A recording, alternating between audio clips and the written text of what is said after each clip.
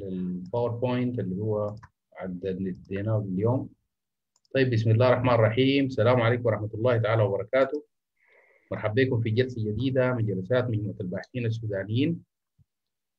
اليوم آه، السبت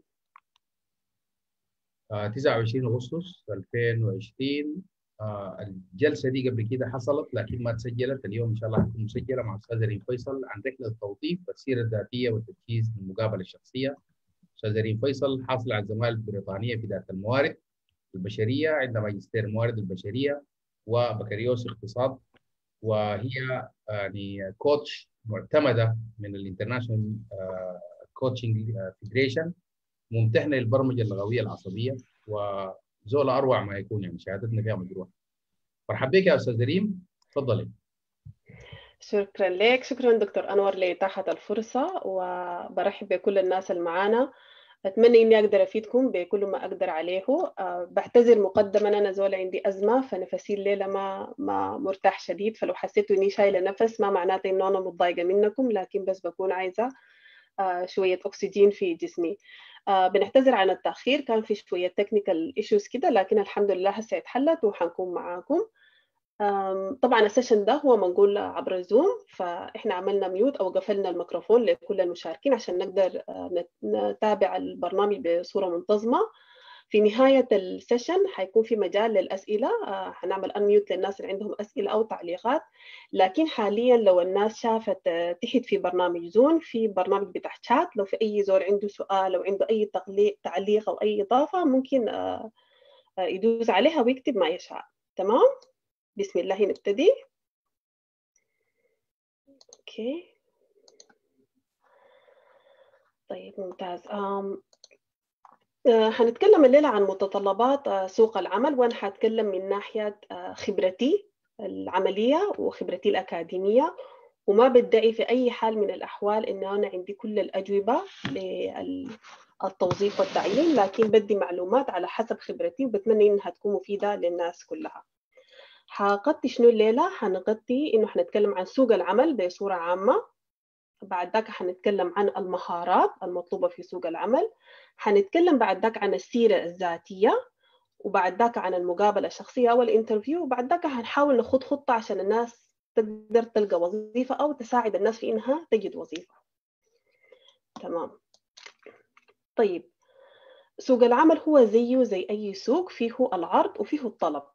العرض من قبل الشركات والمؤسسات اللي هي بتقوم تعلن عن وظائف تكون محتاجة لناس يقدموا لها. الطلب بيجي من التقديم من الناس اللي هم خريجين من الجامعات أو الناس المهنيين في سوق العمل اللي عايزين يغيروا مجالهم أو عايزين يغيروا لوظيفة تانية. الكورونا جات طبعا ما بنقدر نقدر ما نتكلم عنها لانها جات غيرت التوازن في العرض والطلب. عادة الانemployment rate أو البطالة بتكون حوالي 5% دي معناتها هي healthy أو كويسة. هسه حاليا وأنا المقياس بتاعي الانفورميشن اللي عندي جديدة هي عن الولايات المتحدة اتنقلت ل 14% ففي فرق كبير جدا جدا حصل في نسبة العرض والطلب في سوق العمل. نجي نشوف الإيجابيات يعني الكورونا رغم إنها هي أثرت في سوق العمل في حاجات إيجابية برضو طرحتها. منها التعامل مع التكنولوجيا. زمان الناس كانت بتخاف من إنها تتعامل مع التكنولوجيا مع Zoom مثلا مع Google Meeting حتى مع الموبايلات والواتسابات الناس ال video calls الناس كانت بتخاف أو بتخجل منها. هسه الكورونا أدت فرصة للناس إنها تقدر تقوم بالحكاية دي بصورة أفضل. من الحاجات الثانية اللي عملتها هي الابتكار. الناس بدأت تبتكر وسائل أساليب أخرى لعلاج مشاكلهم. عندنا أكبر مثال هي الشركة الباكستانية اللي قامت هي ولدت أو ابتكرت جهاز للتنفس وهو مستعمل هسه حاليا في الباكستان بصورة رسمية وتم اعتماده حيستعملوه عالميا وهو بيساعد الناس اللي عندهم كورونا بيساعدهم على التنفس. فدي من الآثار بتاعتها. في ناس برضو فقدوا وظائفهم في ناس كثيرة جدا جدا بالذات هنا عندنا في الغرب فقدوا الوظائف بتاعتهم فساعدت الكورونا في إنه الناس يجدوا عمل لنفسهم. الزول يشتغل لنفسه يكون شركة يكون عمل. المهم إنه الواحد ما يكون مرتبط بوظيفة.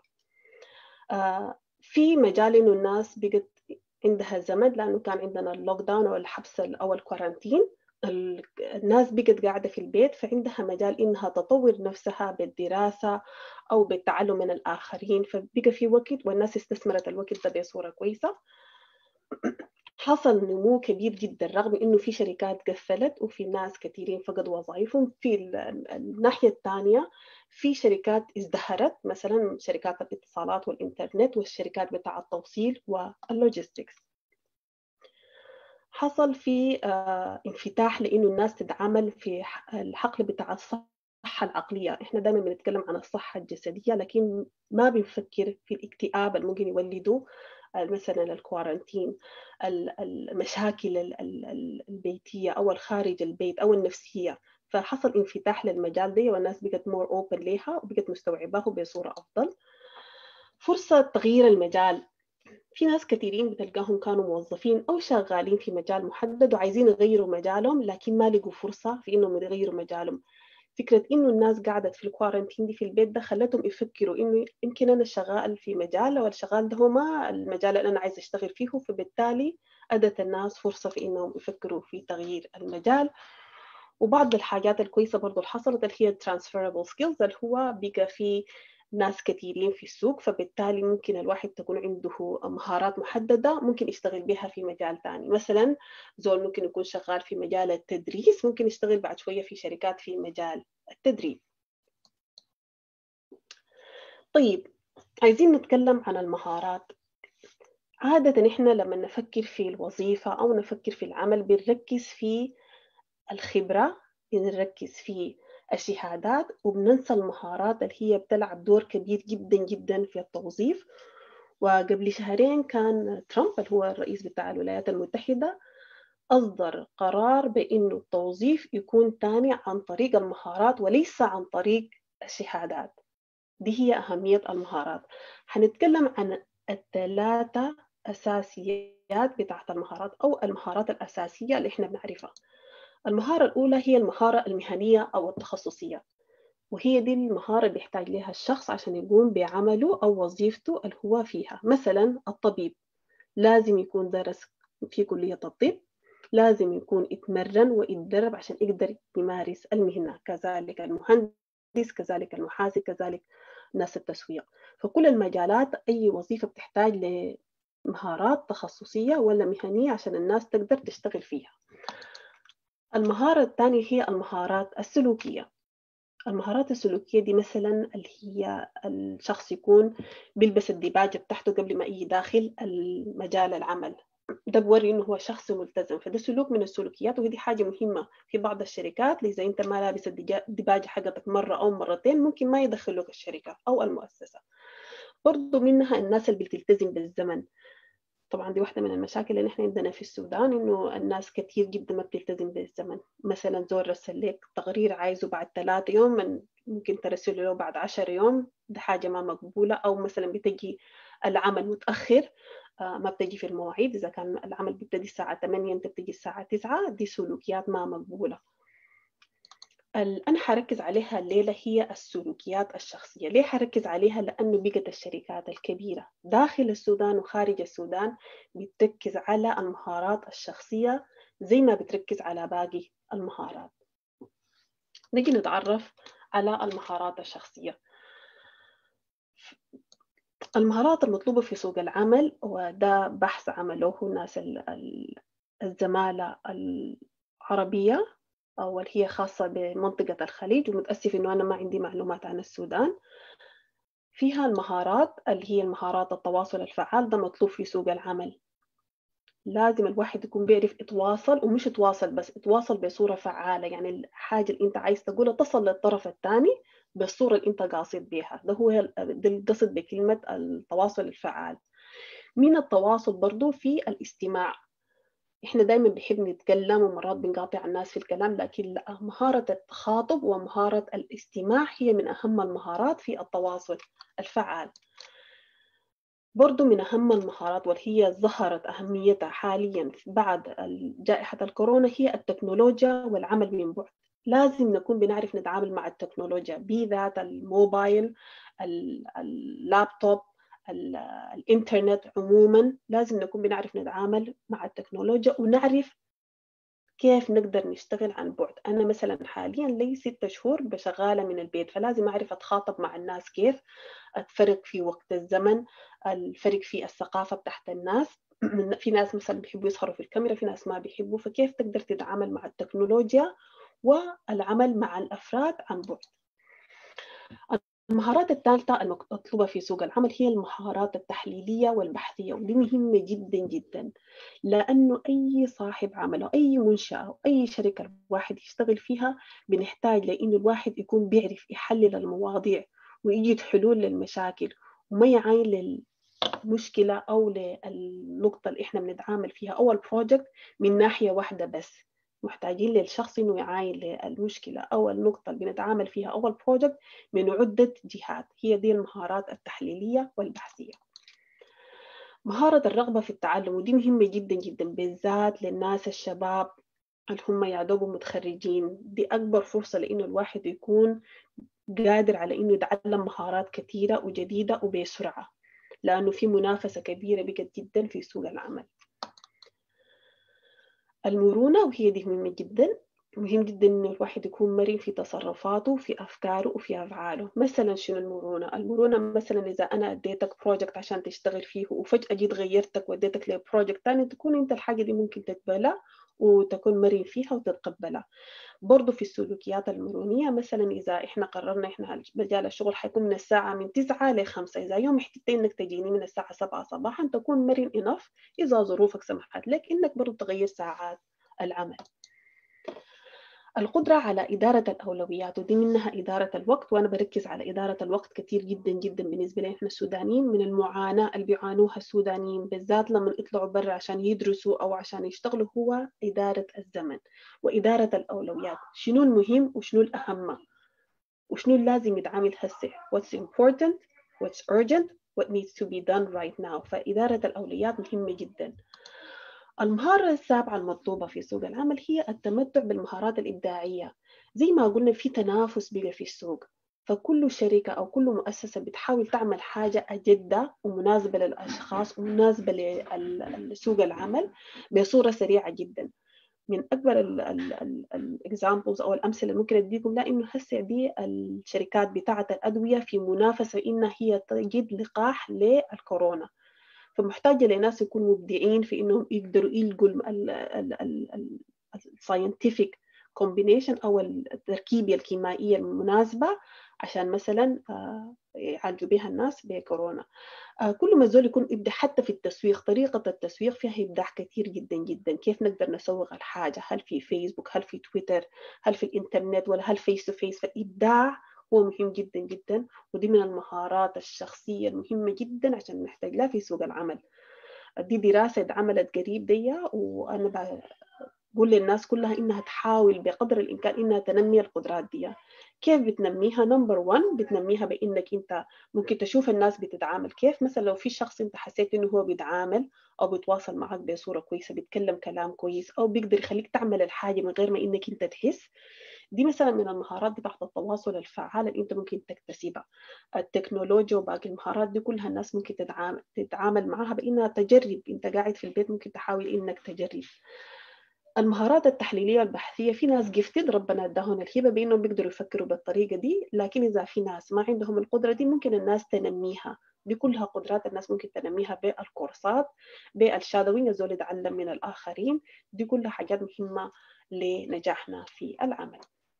طيب الزول حيعرف مهاراته الشخصية كيف؟ يعني سألت السؤال ده لكم شخص هل عارف مهارتك الشخصية؟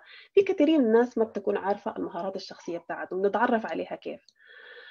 أولا في الاختبارات طبعا المعتمدة اللي هي زي ال Myers-Briggs Type Indicator اللي هي MBTI في ال Insight في اختبارات معتمدة عالميا بتوري الشخص مهاراته الشخصية.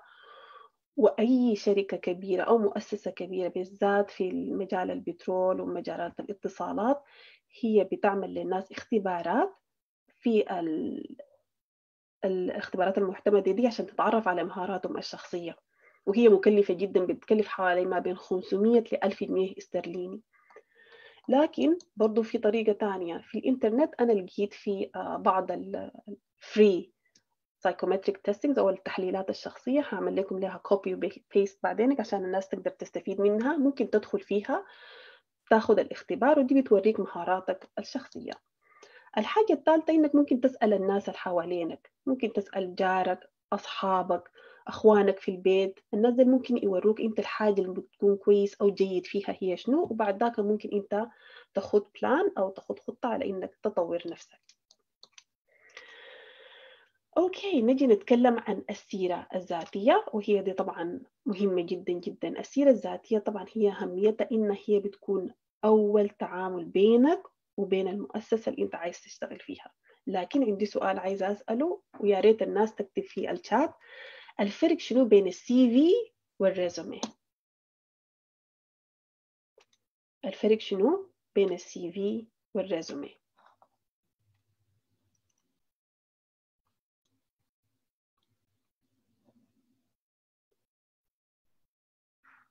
طيب. الفرق بيناتهم هو إنه ال CV وال resume كلمة واحدة لشيء واحد كلمتين مختلفتين لشيء واحد. ال CV هي curriculum vitae اختصار ل curriculum vitae وهي كلمة يونانية تعني مسيرة الحياة. كلمة CV مستخدمة في الغرب أو في أوروبا تحديدا وال resume هي نفس الشيء لكن بنستخدم كلمة resume لأمريكا الولايات المتحدة وكندا تحديدا لكن هم في النهاية بيعنوا نفس الحكاية. من هنا من ال slide دي لو سمحتوا أي زول عنده ورقة وقلم جنبه please اكتب لأنه حدي tips مهمة جدا بتساعد الناس في كتابة السيرة الذاتية. طيب وقبل ما نكتب السيرة الذاتية عايزين نشوف السيرة الذاتية دي أصلا رحلتها شنو؟ بتمشي وين؟ أنت كتبت السيره الذاتية بتاعتك وقدمتها للشركة. ليه عايزة أتكلم عن رحلتها؟ لأنه ده بيساعدك تفكر لما تيجي تكتب السيرة الذاتية بتاعتك تركز على شنو؟ بالذات الوظيفة الواحدة في السودان قبل الكورونا كانت بتجيها أكثر من 2000 CV أو أكثر من 2000 سيرة ذاتية للوظيفة الواحدة. بعتقد بعد الكورونا ومع كثرة الجامعات الموجودة في السودان الحاجة دي ممكن تزيد وتطلع لغاية خمسة ألف CV للوظيفة الواحدة. ما بستبعد. الخمسة ألف CV دي في موظف واحد بتاع تعيين أو موظفين لازم يعملوا تصفية. فبالتالي هيعاينوا للسيرة الذاتية ويعملوا لها تصفية. وهنا عايزة أتكلم عن ال online screening system اللي بيكون أونلاين فمثلا بعض الوظائف إحنا بنقوم نقدم ليها عبر الكمبيوتر ولا أونلاين بيحصل شنو؟ نصيحتي في الحتة دي إنه الناس لما تيجي تقدم أونلاين تلاحظ الأسئلة اللي بتتكتب لأنه اللي بيعمل ال screening أو اللي بيعمل التصفية ده بيكون هو الكمبيوتر فبيعاين لبعض الكلمات المحددة. لو لقاك كاتبة في ال application online أو في التقديم أونلاين دي طوالي بيعمل لك تصفية وبدخلك في القائمة السمي قصيرة فبالتالي مهم جدا إن نعاين الوصف الوظيفي اللي هو اعلنوا فيه الوظيفة نشوف الحاجات المحتاجين هي شنو ونختار الكلمات اللي هي بتكون أساسية أو من محتويات الوظيفة. نختها في ال application form بتاعنا عشان نقدر بعد ذاك ندخل في التصفية النصف قصيرة.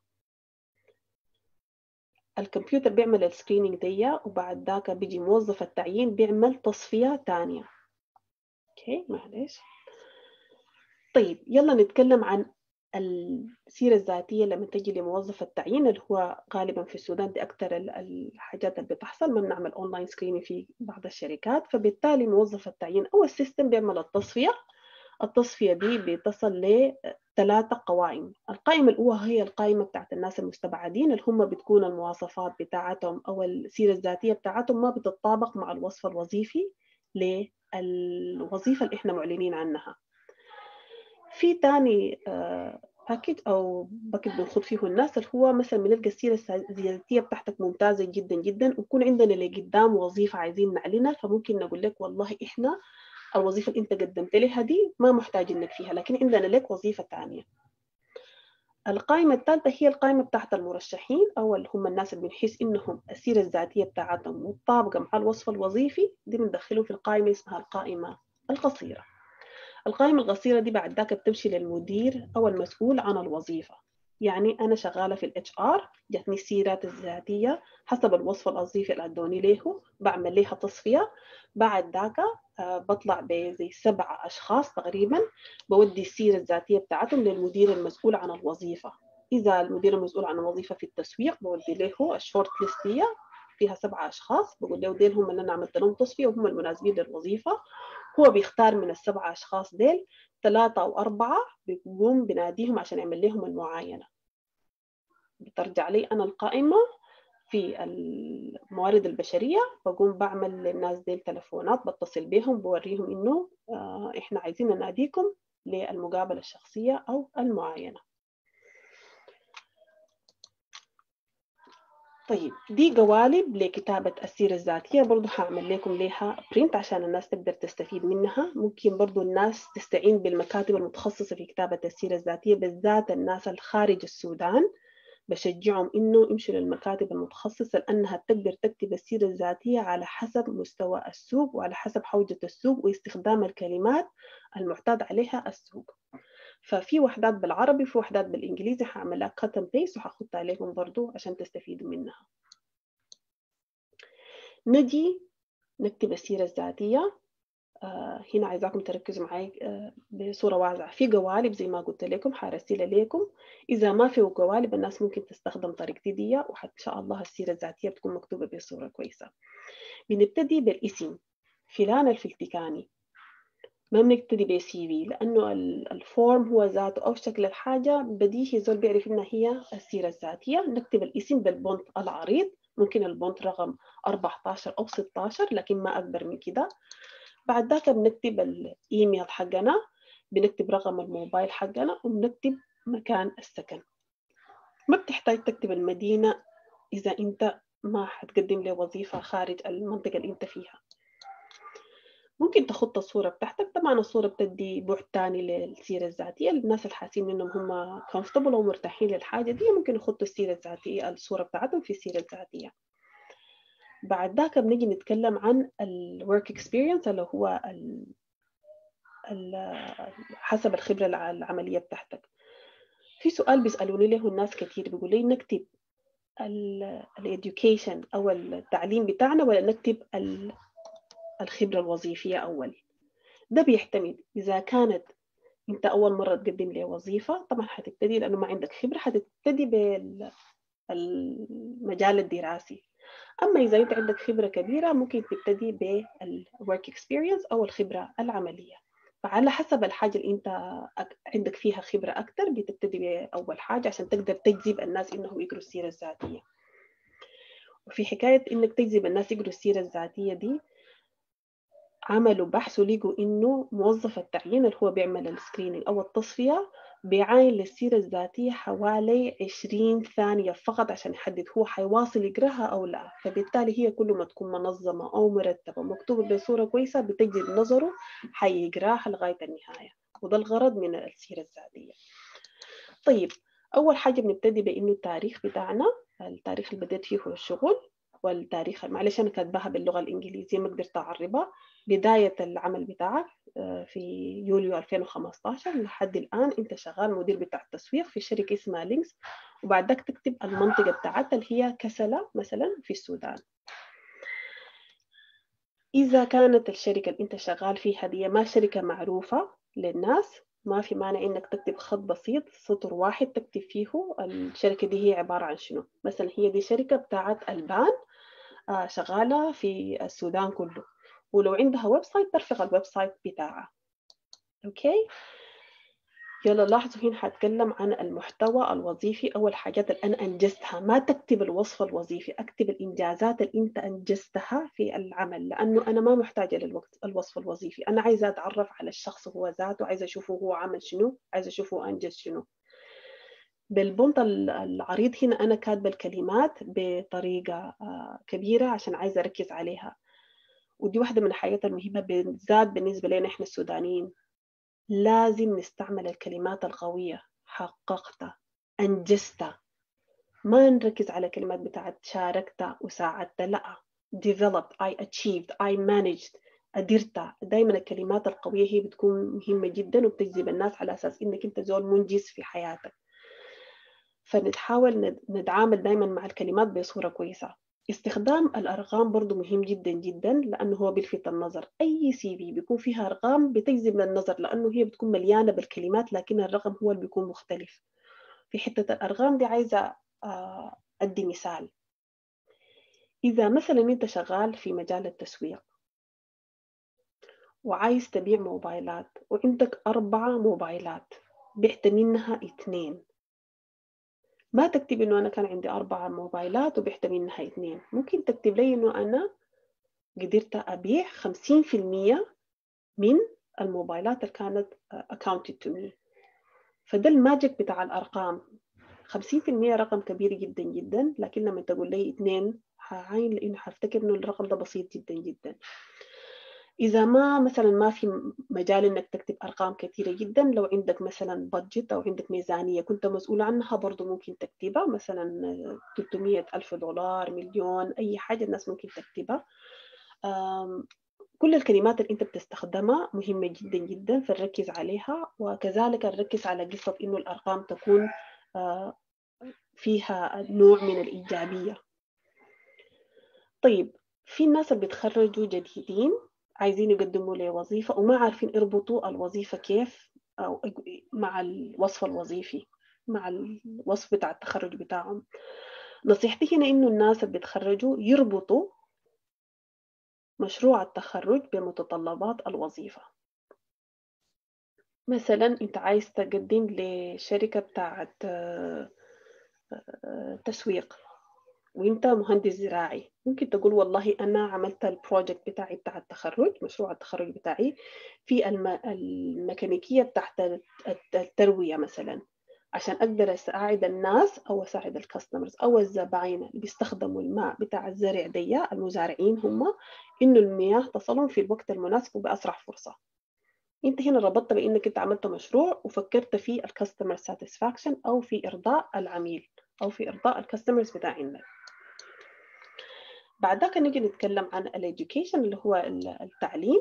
آه بتكتب في إنك أنت تخرجت من تبتدي بآخر حاجة تتخرجت منها. لو عندك مثلا ماجستير تكتب إنك آخر حاجة تخرجت في الماجستير من 2001 الشخص ده لغاية 2003 كان بيعمل في الماجستير. من 1995 لغاية سنة 2000 عمل البكالوريوس. ده سؤال جاهز حيجيك في ال interview. الشخص ده في سنة 2000 خلص البكالوريوس بتاعه وفي سنة 2001 عمل الماجستير. في السنة اللي بين 2000 و 2001 دي حصل شنو؟ مهم جدا إنك تجهز إجابتك. إذا كان في مثلا بعض الناس بيكون حصلت لهم ظروف سافروا مع أهلهم لا يعني لا قدر الله عيانين. ممكن تكتب سطر واحد بس توضح ال gap حصل فيه شنو. إذا ما كتبت السطر ده ده سؤال جاهز حيجيك في ال interview. خليك مجهز إجابتك ليه. طيب نجي بعد ذاك للمهارات اللي أنت عندك تكتبها بصوره كويسة. اللغة اللي أنت بتتكلم بها مهم جدا. By the way عايزة أركز على الحتة دي.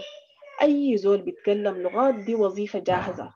أي لغة أنت بتتكلمها؟ صينية يابانية كرواتية. الوظ... اللغة هي في حد ذاتها وظيفة. فيها مجالات كثيره الواحد ممكن يشتغل فيها. طيب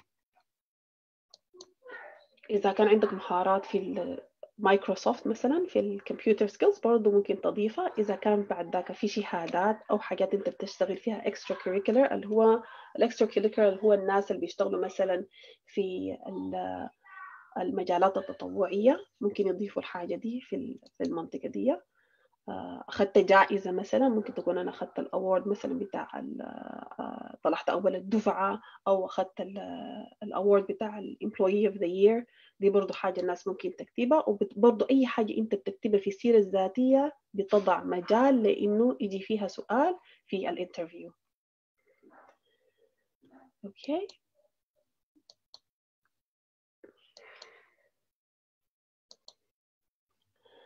طيب عايزة أوريكم هنا أمثلة للسيرة الذاتية اللي بتجي للناس وعايزة أوريكم اللي بتلفت النظر. في على الشمال دي إدواردز لومسترك دي كاتب حقته منظمة بطريقة كويسة وشكلها جذاب لكن لو عينا هنا لإيلون ماسك. إيلون ماسك دي هو طبعا في ناس كثيرين بيعرفوه هو كان المدير السابق بالنسبة لتسلا اللي هي السيارات الجديدة الفاخرة. كاتب ال CV بتاعته في صفحة واحدة. ده زول عنده very rich experience. كاتب ال CV بتاعته مختصرة في صفحة واحدة بطريقة. فأنا بالنسبة لي على اليمين اللي فيها الخطوط بالأحمر دي جذابة جدا جدا. فيها صورة كاتب بطريقة مختلفة فيها ألوان. حتلفت نظري حعاين لها وحأقراها اللي على الشمال دي أنا متأكدة إنه حيجيني كم سي في بنفس القالب دي حتكون مكتوبة بنفس الطريقة. فقد تكون بالنسبة لي أنا ما ممضية نجي هنا عايزين نعاين للأخطاء الشائعة في كتابة السيرة الذاتية. في ناس كثيرين بيكتبوا السيرة الذاتية بتاعتهم بتكون طويلة جدا جدا. وهنا عايزة أتكلم عن حاجتين. إذا أنت مقدم للخليج ما في مانع إنه السيرة الذاتية تكون طويلة لأنه في الخليج الناس بتطلب إنه السيرة الذاتية أصلا تكون طويلة. كل ما تكون طويلة تكون فرصتك في إيجاد العمل أحسن. أما إذا أنت عايز تقدم في أمريكا أو في القرب في أوروبا السيرة الذاتية بتاعتك ما تكون أكثر من صفحتين. هسه إحنا شفنا إنه إيلون ماسك اللي هو عنده خبرة بتاعت أكثر من 25 سنة مختصر السي في بتاعته في صفحة واحدة. فنتفادى السي في الطويلة وزي ما قلت لكم موظف التعيين بيجيه على الأقل 2000 سيرة ذاتية. فبالتالي كل ما تكون مختصرة كل ما تكون مقبولة بالنسبة له في ناس كثيرة بتقوم بتكتب لك الوصفة الوظيفي بتاع الوظيفة اللي هم كانوا شغالينها بيخطوها في الخبرة بتاعتهم. بأكد تاني اتكلم عن إنجازاتك لأنه الغرض إنه إحنا نعرفك أنت وقدرت أنجزت شنو عشان نقدر نناديك للإنترفيو. فدايما ركز في إنك تكتب إنجازاتك بدل عن الوصف الوظيفي وركز على استخدام الكلمات القوية والأرقام في كتابة السيرة الذاتية. الغلطة الثالثة اللي بيغلطوها ناس كثيرين إنه بيكتبوا حاجات ما عندها أي علاقة بالوظيفة. وهنا عايزة أركز على نقطة مهمة. أنت لما تقدم السيرة الذاتية بتاعتك الغرض منها إنها هي توصلك للمعاينة. ما حتوصلك للمعاينة لو أنت كاتب فيها حاجات أصلا ما لها علاقة بالوظيفة. أنا كموظف تعيين أصلا لما تجيني 2000 سيرة ذاتية ما بعين لها على أساس أنا عايزة أوظف الشخص. بعين على إنه أنا عايزة أبعد ال CVs ديل على أساس إنه أنا أقصرهم ل 10 CVs بس أقدر أطلع منهم القائمة القصيرة اللي حوديها للشخص المسؤول. فبالتالي أي حاجة بتتكتب في السيرة الذاتية لازم يكون لها علاقة بالوظيفة اللي أنت مقدم لها الأخطاء الإملائية دي قاتلة. أي شخص ما عنده الرغبة إنه يراجع ال CV بتاعته ويشوف في الأخطاء اللي فيها ويصححها ما يقدم للوظيفة لأنه ده أول حاجة أنا هعاين لها وأشوف إنه الشخص هو طريقة أدائه للعمل كيف. إذا أنت ما اهتميت بإنك أنت تراجع سيرتك الذاتية ما حتراجع ال reportات في الشغل ما حتراجع العمل فبالتالي ما حفكر في إني أنا أوظفك.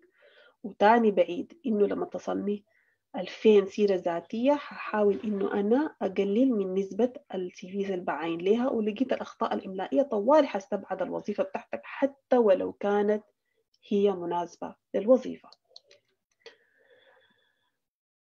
برضو من الحاجات اللي بنستعملها كتير جدا جدا هو الإيميلات اللي بتكون يعني ما professional إذا ممكن أقول. من حق أي زول يستخدم أي اسم آه ودي حاجة جميلة بالذات الناس الشباب. لكن أنت لما تقدم لوظيفة عايز شكلك أصلا يكون professional وفي النهاية نحن humans أو إحنا بشر وبنتعامل بال ال first impression. فبالتالي مهم جدا إنك أنت لما تقدم للوظيفة وتكتب ال CV بتاعتك الإيميل بتاعك يكون professional هديكم مثال ودي حاجات بتحصل. في مثلا جانا CV واحد كاتب الأسد الجعجع at hotmail.com أكيد أنا ما عايزة اوظف الأسد الجعجع.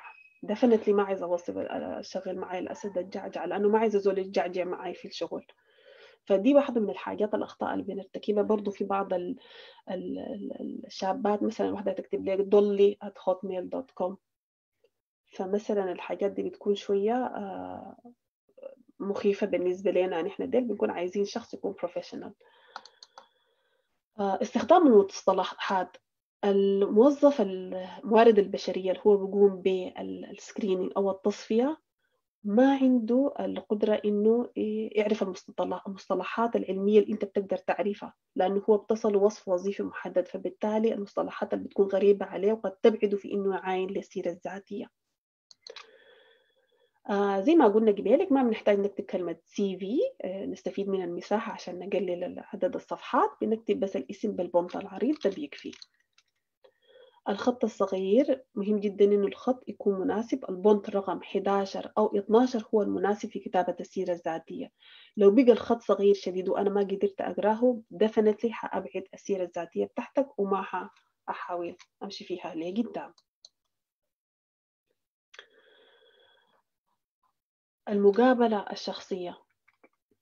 المقابلة الشخصية طبعا هي من أهم الحاجات. Once إنك أنت عملت السي في بتاعتك في مرحلة السيرة الذاتية أو السي في دي مرحلة الشركة بتكون ما عندها الرغبة إنها هي توظفك. أنت اللي بتحاول تقنع الشركة إنها توظفك.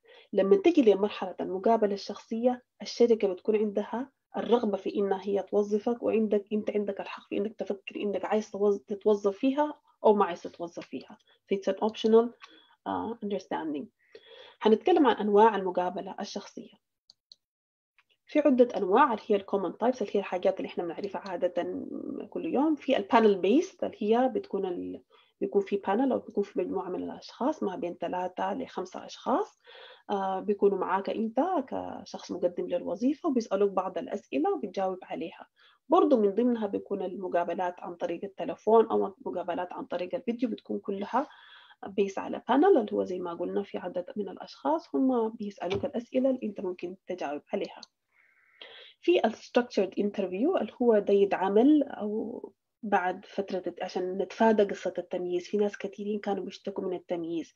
فال structured interview ده هو بيكون إحنا لكل مقدم بنسأله نفس الأسئلة عشان نقدر نتفادى ال discrimination أو التمييز بين الناس. السؤال اللي حسأله للمقدم رقم واحد ولا المقدم رقم اثنين هم نفس الأسئلة. الإجابات بتختلف على حسب الشخص. ال assessment center ده هو طبعا من أنجح وسائل التعيين لكن طبعا مكلف جدا من ناحية بتاع الزمن ممكن يكون ما بين يومين لأسبوع كامل. ويكون فيه group يعني exercise أو عمل بتاع فريق بيكون فيه presentation بيكون فيه interview بيكون فيه sessions بتاعت coaching في ال assessment center بنراقب الشخص وتعامله كيف مع الآخرين كيف بيقدر يحل المشاكل. وزي ما قلت لكم هو من أنجح الوسائل مستخدم في السودان في بعض الشركات الكبيرة. التكنيكال اللي هو إحنا بنحاول نشوف الشخص في مجال العمل حقه بيقدر يعمل الحاجة فعليا كيف عادة بنستخدمه للوظائف التقنية. لو مثلا عايزة أجيب لي شخص ميكانيكي بجيب له مكنة بايظة وبقول بشوف قدامي هو بيصلحها كيف عشان أعرف هو مهنيا بيقدر يشتغل أو لا. لو عايزة أجيب لي واحدة تطبع لنا مثلا بكون عايزة أشوف سرعة الطباعة بتاعتها فبديها technical test عشان أشوف قدرتها. الفيديو اللي هو مستخدم هسه بقى حاليا الواحد عن طريق الفيديو بتسجل أنت المحا... المقابلة بتاعتك أو ال CV بتاعتك عن طريق الفيديو بترسلها لنا. إحنا بنعمل video call عن طريق الواتساب عن طريق الزوم وبنتعامل معك على هذا الأساس. ومنها برضه بتجي في exercises من ال assessment center مثلا نقول لك قدم presentation ال stress interview ده هو من الانترفيوهات اللي بنقدمها للناس اللي بيقدموا لي وظائف مثلا بتاعت CFO اللي هو الوظائف العليا في الشركات. دكتور أنور ما أعرف حنقدر نشغل الفيديو ده أو لا؟ ممكن تشغليه okay أتمنى إنه الناس تقدر تسمع وما عارفه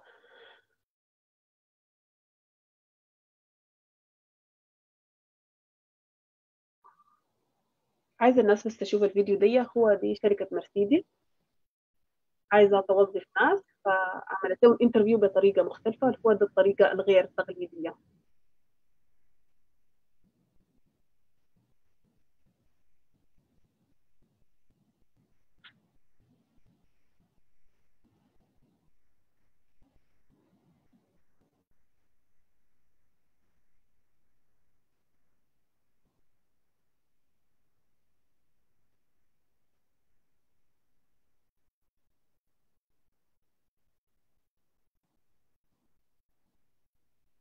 يلا مرحبا بكم في ال office بتاعنا اللي هو العربية هو ال office حقهم قدمت للوظيفة دي.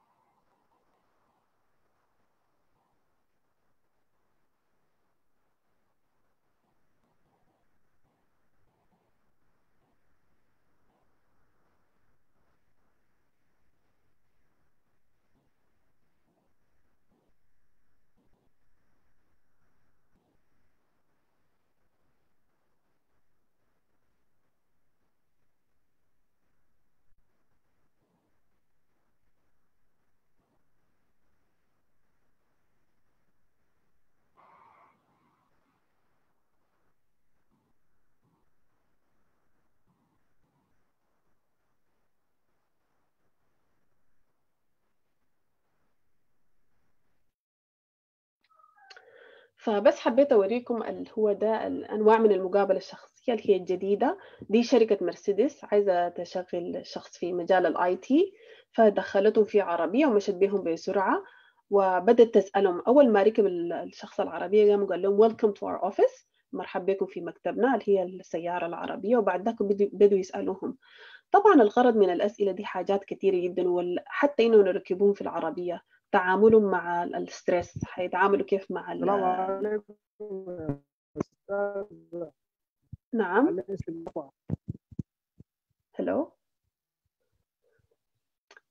تعاملهم كيف مع ال stress حيتعاملوا كيف مع العربية وهي ماشية. حيعلقوا على العربية ما حيعلقوا على العربية حيقدروا يجاوبوا على الأسئلة حيقدروا يتعاملوا مع الضغط. فدي هي من ال ال الأشكال الجديدة بتاعت ال interview. في شخص بيتكلم لكن ما سامعاه hello وفي وفي من المشرفين بتوع الباحثين السودانيين وأنا طلبت منه مساعدة إنه يساعد في في ال moderation بتاع ال webinar.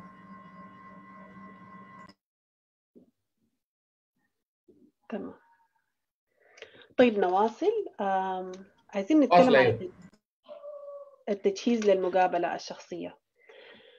قبل ما نمشي للمقابلة الشخصية والانترفيو لازم نجهز نفسنا من كل النواحي فعشان نجهز نفسنا أول حاجة لازم تعرف قيمتك في السوق. هل أنت الوظيفة اللي أنت مقدم ليها دي في ناس كثيرين في السوق زيك ممكن يقوموا بالوظيفة ولا أنت الشخص الوحيد أو في عدة أفراد يتعدوا في الأصابع زي ما بيقولوا هم ممكن يشتغلوا الوظيفة دي. دي بيساعدك على إنك أنت negotiate بالنسبة للوظيفة إذا كان المرتب إذا كان ساعات العمل فدي هي حاجة مهمة لازم تعرف قيمتك في السوق هي شنو. الحاجة الثانية تتعرف على المؤسسة. مهم جدا إنك تعرف المؤسسة وده حاجة أساسية. لأنه بتساعدك إنك تتكلم بلغة المؤسسة لما تجي تجاوب على الأسئلة في ال interview وبرضه بتساعدك على الإجابات في ال interview نفسها. اتعرف على المبادئ بتاعت المؤسسة يتعرف على المشاكل المقابلة المؤسسة هي شنو وضعها في السوق ال competition المنافسة اللي بتقابلها في في السوق هي شنو. وفي بعض الأحيان الشركات الكبيرة مثلا بيسألوك من ال shares بتاعتهم سعر ال share بتاع اليوم هو كم فلازم الواحد يكون مواكب وعارف أكثر معلومات ممكن يتعرف عليها. ممكن تدخل ال website تتعرف على المعلومات من ال website. برضو ممكن تسأل الناس الشغالين في المؤسسة عن بعض المعلومات هم ممكن يساعدوك بها وبالتالي بتكون بتعرف أكثر عن المؤسسة وكده بتكون مجهز نفسك للمقابلة الشخصية. الحاجة الثالثة مهم جدا إنك تعرف ال interview بتاعك حيكون شكله شنو؟ حيكون يا نوع من ال interview. هل حيكون زي ما قلنا قبالك panel interview structured technical حيكون assessment center الحاجة دي مهمة جدا وبتساعدك. ومهم جدا إنك تعرف الناس لو حتكون panel interview حيكونوا حيعمل لك ال interview منه من هم الأفراد اللي حيكونوا في ال interview مشاركين فيه تخش طوالي على الفيسبوك تخش على اللينكدين تتعرف على الناس دي كل ما تعرف أكثر عنهم كل ما حتكون إجابتك مناسبة بالنسبة لهم وبالنسبة لشخصيتهم. الحاجة الرابعة راجع المتطلبات بتاعت الوظيفة عشان إجاباتك تكون مطابقة على حسب الوظيفة اللي أنت مقدم ليها.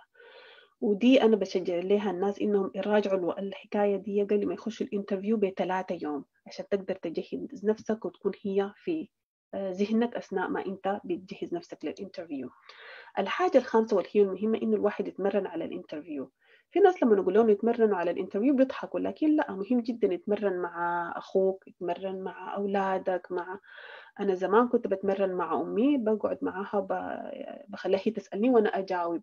فمهم جدا ان الواحد يتمرن مرة ومرتين وثلاثة مرات. طيب نجي للسلوكيات بتاعت المقابلة الشخصية. أول حاجة عايزة أقول إنه مهم جدا لو أنت بالذات هسه في أيام الكورونا دي لو حتعمل تلفون interview أو ال interview بتاعك حيكون بالتلفون ألبس كويس واتريح وخليك نظيف و... وشكلك جميل عشان أنت لما تكون إحساسك بإنك أنت نظيف وجميل حتقدر تدي الإحساس ده للناس اللي عاملين لك ال interview أنا هسه مقدم ال session دي وأنا كأني أنا قاعدة في الشغل أو في المكتب. الحاجة دي مهمة بتديك روح مختلفة في إنك تقدر تقدم نفسك بصورة أفضل. طيب أول حاجة النظافة واللبس اللائق. أهم حاجة طبعا في السودان إنه إحنا الجو سخن المواصلات صعبة الواحد لما يصل الانترفيو بيكون عرقان أو بتكون يعني زي ما بقولوا حالته صعبة. مهم جدا جدا إنه تشيل معاك باغة بتاعت موية صغيرة أو منديل أول ما تيجي داخل على المؤسسة غسل وشك بالموية ونشف نفسك. يديك إحساس بتاع النظافة أحسن من الوش اللي هو بيكون مليان عرق أو تراب. اللبس اللائق مهم جدا جدا. تلبس الحاجة اللي متوقعين إنك تلبسها.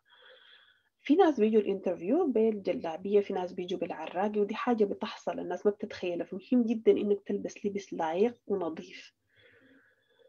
استخدام العطر القوي ده أنا عايزة أركز عليه وأنا زول عندي أزمة وفي بعض الشابات بيجوا متريحين بالريحة قوية جدا جدا.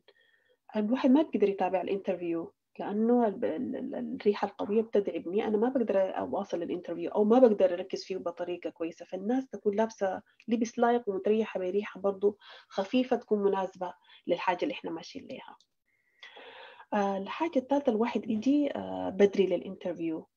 إحنا طبعا عندنا مشكلة بتاعت الزمن.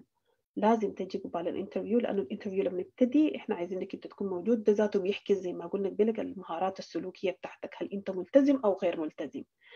لكن ما تجي بدري شديد. يعني 15 دقيقة قبل ال interview كفاية جدا جدا. ليه ما تجي قبل نص ساعة من ال interview؟ ليه ما تجي قبل ساعة قبل ال interview؟ لأنه كل ما تنتظر كل ما حتتوتر. فبالتالي دائما نحاول نقلل الحضور بتاعنا ل 15 ل 10 دقائق قبل ال interview. ما تنسى تحط الموبايل بتاعك في صامت لأنه الموبايل لما يضرب فيه أثناء ال interview دي بتكون محرجة بالنسبة لك أنت وبرضه بتعكس جزء من شخصيتك. الثقة ونبرة الصوت الواضحة. كتير جدا 90% من الناس اللي بيمشوا للانترفيوز بيكونوا متوترين. ده شيء طبيعي جدا جدا الواحد يتوتر دي حاجة عادية. عشان تزيل التوتر بتاعك ده اتكلم بالراحة. لأنه كل ما تتكلم بسرعة كل ما أخطائك حتزيد كل ما حتتلحسن في الكلام وكده ما حيكون كويس فيه فبالتالي كل ما تتكلم بالراحة بتدينا إحساس إنك أنت واثق من نفسك وبالتالي بيكون عندنا رغبة إننا نسمعك بصورة أفضل. لو لاحظتوا كلامي لما اتكلمت بسرعة ولما اتكلمت بالراحة لما تتكلم بسرعة بتزيد الفرص بتاعت إنك أنت تخطئ بتدي إحساس بتاع إنك أنت متوتر الكلام بتاعك بيكون ما مفهوم وبالتالي نبرة الصوت ما بتكون واضحة. لكن لما تتكلم بالراحة بتدي نفسك فرصة إنك أنت أصلا تفكر في السؤال بطريقة كويسة وفي الإجابة اللي عايز تقولها وترد على الناس بطريقة أوضح. لغة الجسد الإيجابية مهمة جدا. إحنا كسودانيين عادة الواحد بيجي تلقاه بعاين في الأرض. لا عاين للناس في وشهم. ممكن تعاين زي ما بيقولوا بين في الجبهة بين العينين. لو ما عايز تعاين للناس في عيونهم. لكن ده عاين بعيد. الواحد يكون بيتكلم معاك أو بيسألك في سؤال وأنت بتجاوب بعاين في الأرض أو بعاين في السقف. ال eye contact مهم جدا. قعدتك في الكرسي لازم تكون قاعدة مهذبة. خد يدينك بطريقة مهذبة. ما تعمل يعني to cross your hands أو تلفق يدينك خليهم في في رجلينك أو خليهم في لو قدامك في مكتب خليهم قدامك في المكتب. الجلسة لازم تكون جلسة مهذبة لأنه ده برضه بتحكي شخصيتك. في بعض العادات السيئة اللي إحنا بنعملها إذا ممكن أسميها عادات سيئة بنعملها لا شعوريا يعني إحنا ممكن قصدنا بس لكن لأننا تعودنا. من العادات السيئة مثلا الواحد تسأله سؤال تقول له أنت تخرجت سنة 95 يقوم يقول لك اللي هي حركة آه نعم أو آي بس بال بال بالطريقة السودانية العامية وهي ما فيها حاجة لكن بس ده ما بكون. الوقت المناسب أو المكان المناسب إنه الواحد يستخدمه أو تسأل الشخص سؤال يكون الإجابة بتاعته لا يقوم يقول لك أصله ما حصل اللي هي معناتها لأ؟ لكن بس باللغة العاميه بتاعتنا. الناس بتعمل الحاجات دي believe it or not الناس ما بتصدق لكن الناس بتعمل الحاجات دي لا شعوريا. فدي بعض الحاجات السيئة الناس تحاول تتفاداها. برضو من الحاجات اللي بينصحوا بها الناس إنه الواحد لو متوتر شديد ياكل اللبانة مثلا تاكل لك لبانة عشان تزيل التوتر. ما تنسى تطلع اللبانة. في بعض الأخوات بيخشوا أو الشابات بيخشوا يدخلوا ال interview وبيكونوا لسه بياكلوا في اللبانة وبينسوا روحهم وبعد ذاك بيطقطقوا اللبانة داخل ال interview. ابدا ده سلوك ما مناسب.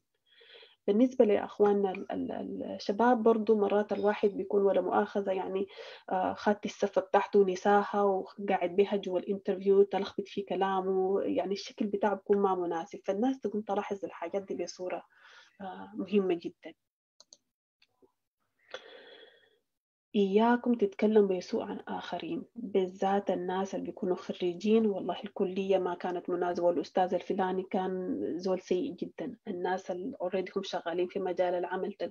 ليه سبت شغلك الفات يقول لك والله المدير بتاعنا ده كان كعب. أو الشركة الفلانية دي ما كانت شركة fair أو ما بتعامل الناس بصورة كويسة. لا نهائي ما تتكلم بسوء عن الآخرين لأنه طوال الاعتقاد اللي بيجينا إنك أنت بنفس الطريقة اللي تكلمت بها عن الآخرين دي حتتكلم بها عن الشركة. خليك present أو خليك حاضر في في الوقت اللي أنت فيه. يعني ما تخلي ذهنك اللي هو شيء طبيعي إنه الواحد ذهنه بيذهب لبعيد أو يفكر في حاجات تانية. لا be present. خليك في اللحظة اللي أنت فيها دي. ما تفكر في أي حاجة تانية غير اللحظة اللي أنت موجود فيها لأنه ده بيخليك أنت تقدر تجاوب بطريقة أفضل. في الحتة بتاعت ال be present دي حأشيل لك منها تجهز بعض الأسئلة. عادة لو ال interview بطريقة competent في نهاية ال interview بنسألك هل عندك سؤال؟ إحنا خلصنا من ال interview هل أنت عندك سؤال؟ لازم لازم بكرر again لازم يكون عندك بعض الأسئلة المجهزة مثلا زي شنو؟ ممكن تسألنا سؤال تقول لنا مثلا المشاكل اللي هسه المقابلة الشركة هي شنو؟ حجم الكومبيتيشن المقابل أو المنافسة اللي بتواجهها الشركة هي شنو؟ مثلا هسه في الكورونا الآثار بتاعت كورونا في مجال العمل بتاعت المؤسسة بتاعتكم هي شنو؟ فدي بعض الأسئلة أنت ممكن تساعد بها في إنك أنت توري الناس إنك interested أو عندك الرغبة في في الشركة أو العمل في المؤسسة. عايزة أختم ال slide دي بإنه أقول إنك أنت you don't have a second chance to make a first impression يعني ما بتكون عندك فرصة تانية عشان تعمل انطباع أول إحنا في النهاية بشر وبناخد بالانطباع الأول رغم إن إحنا بندرب الناس في ال interview إنه يا إخواننا ما تاخدوا بالانطباع الأول وأعرفوا الشخص لكن في النهاية النفس البشرية هي النفس البشرية وهي عندها الانطباعية ودي حاجة طبيعية. طيب في أسئلة أنت عايز تجهز نفسك لل interview؟ في أسئلة بتجي في 90% من المعاينات. ما في أي كلام كثير في الحتة دي. فممكن الناس في الشات تحاول تكتب أديكم زي دقيقة كده تكتبوا الأسئلة اللي بتفتكروا إنها بتجي كثير في ال interview هي شنو.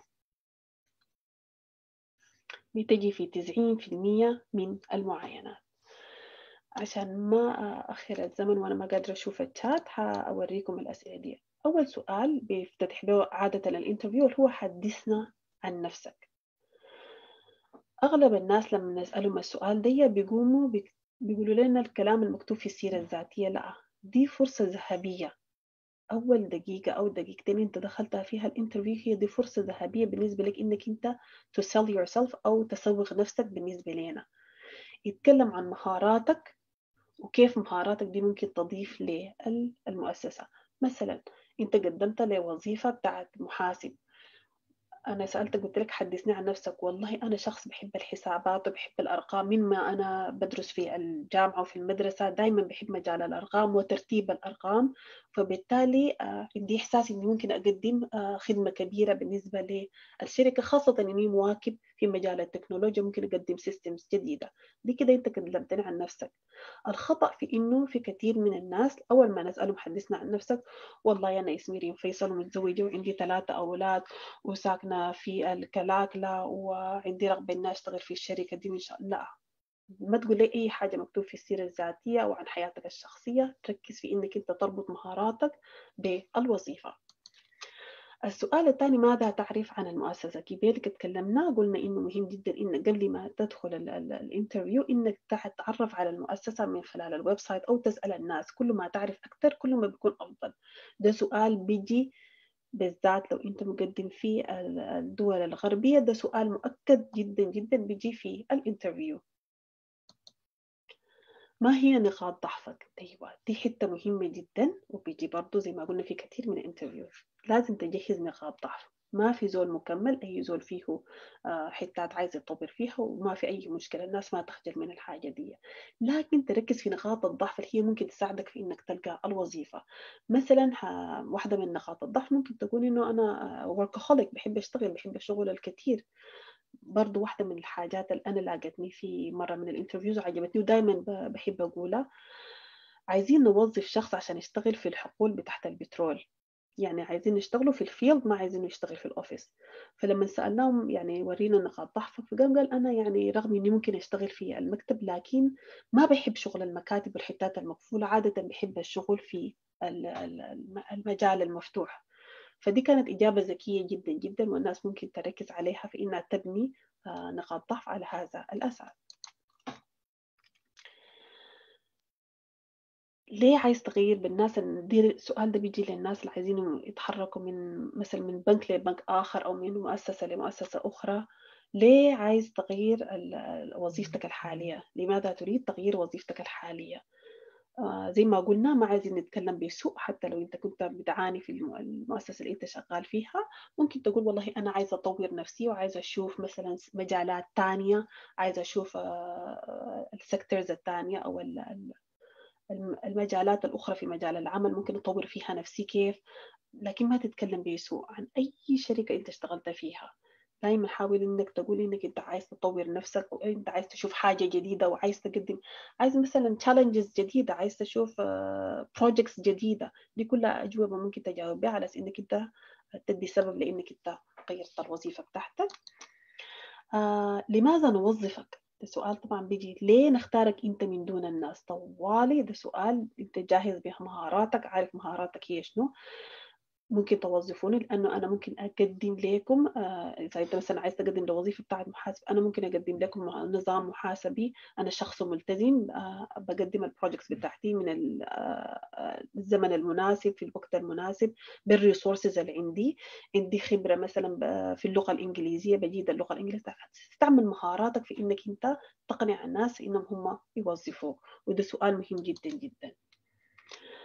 نجي للراتب اللي هو مهم جدا بالنسبة لأي شخص. كلنا بنشتغل عشان الراتب وبنشتغل عشان حاجات تانية. طيب ال trick هنا إذا هم سألوك من الراتب قال له كم بتتوقع؟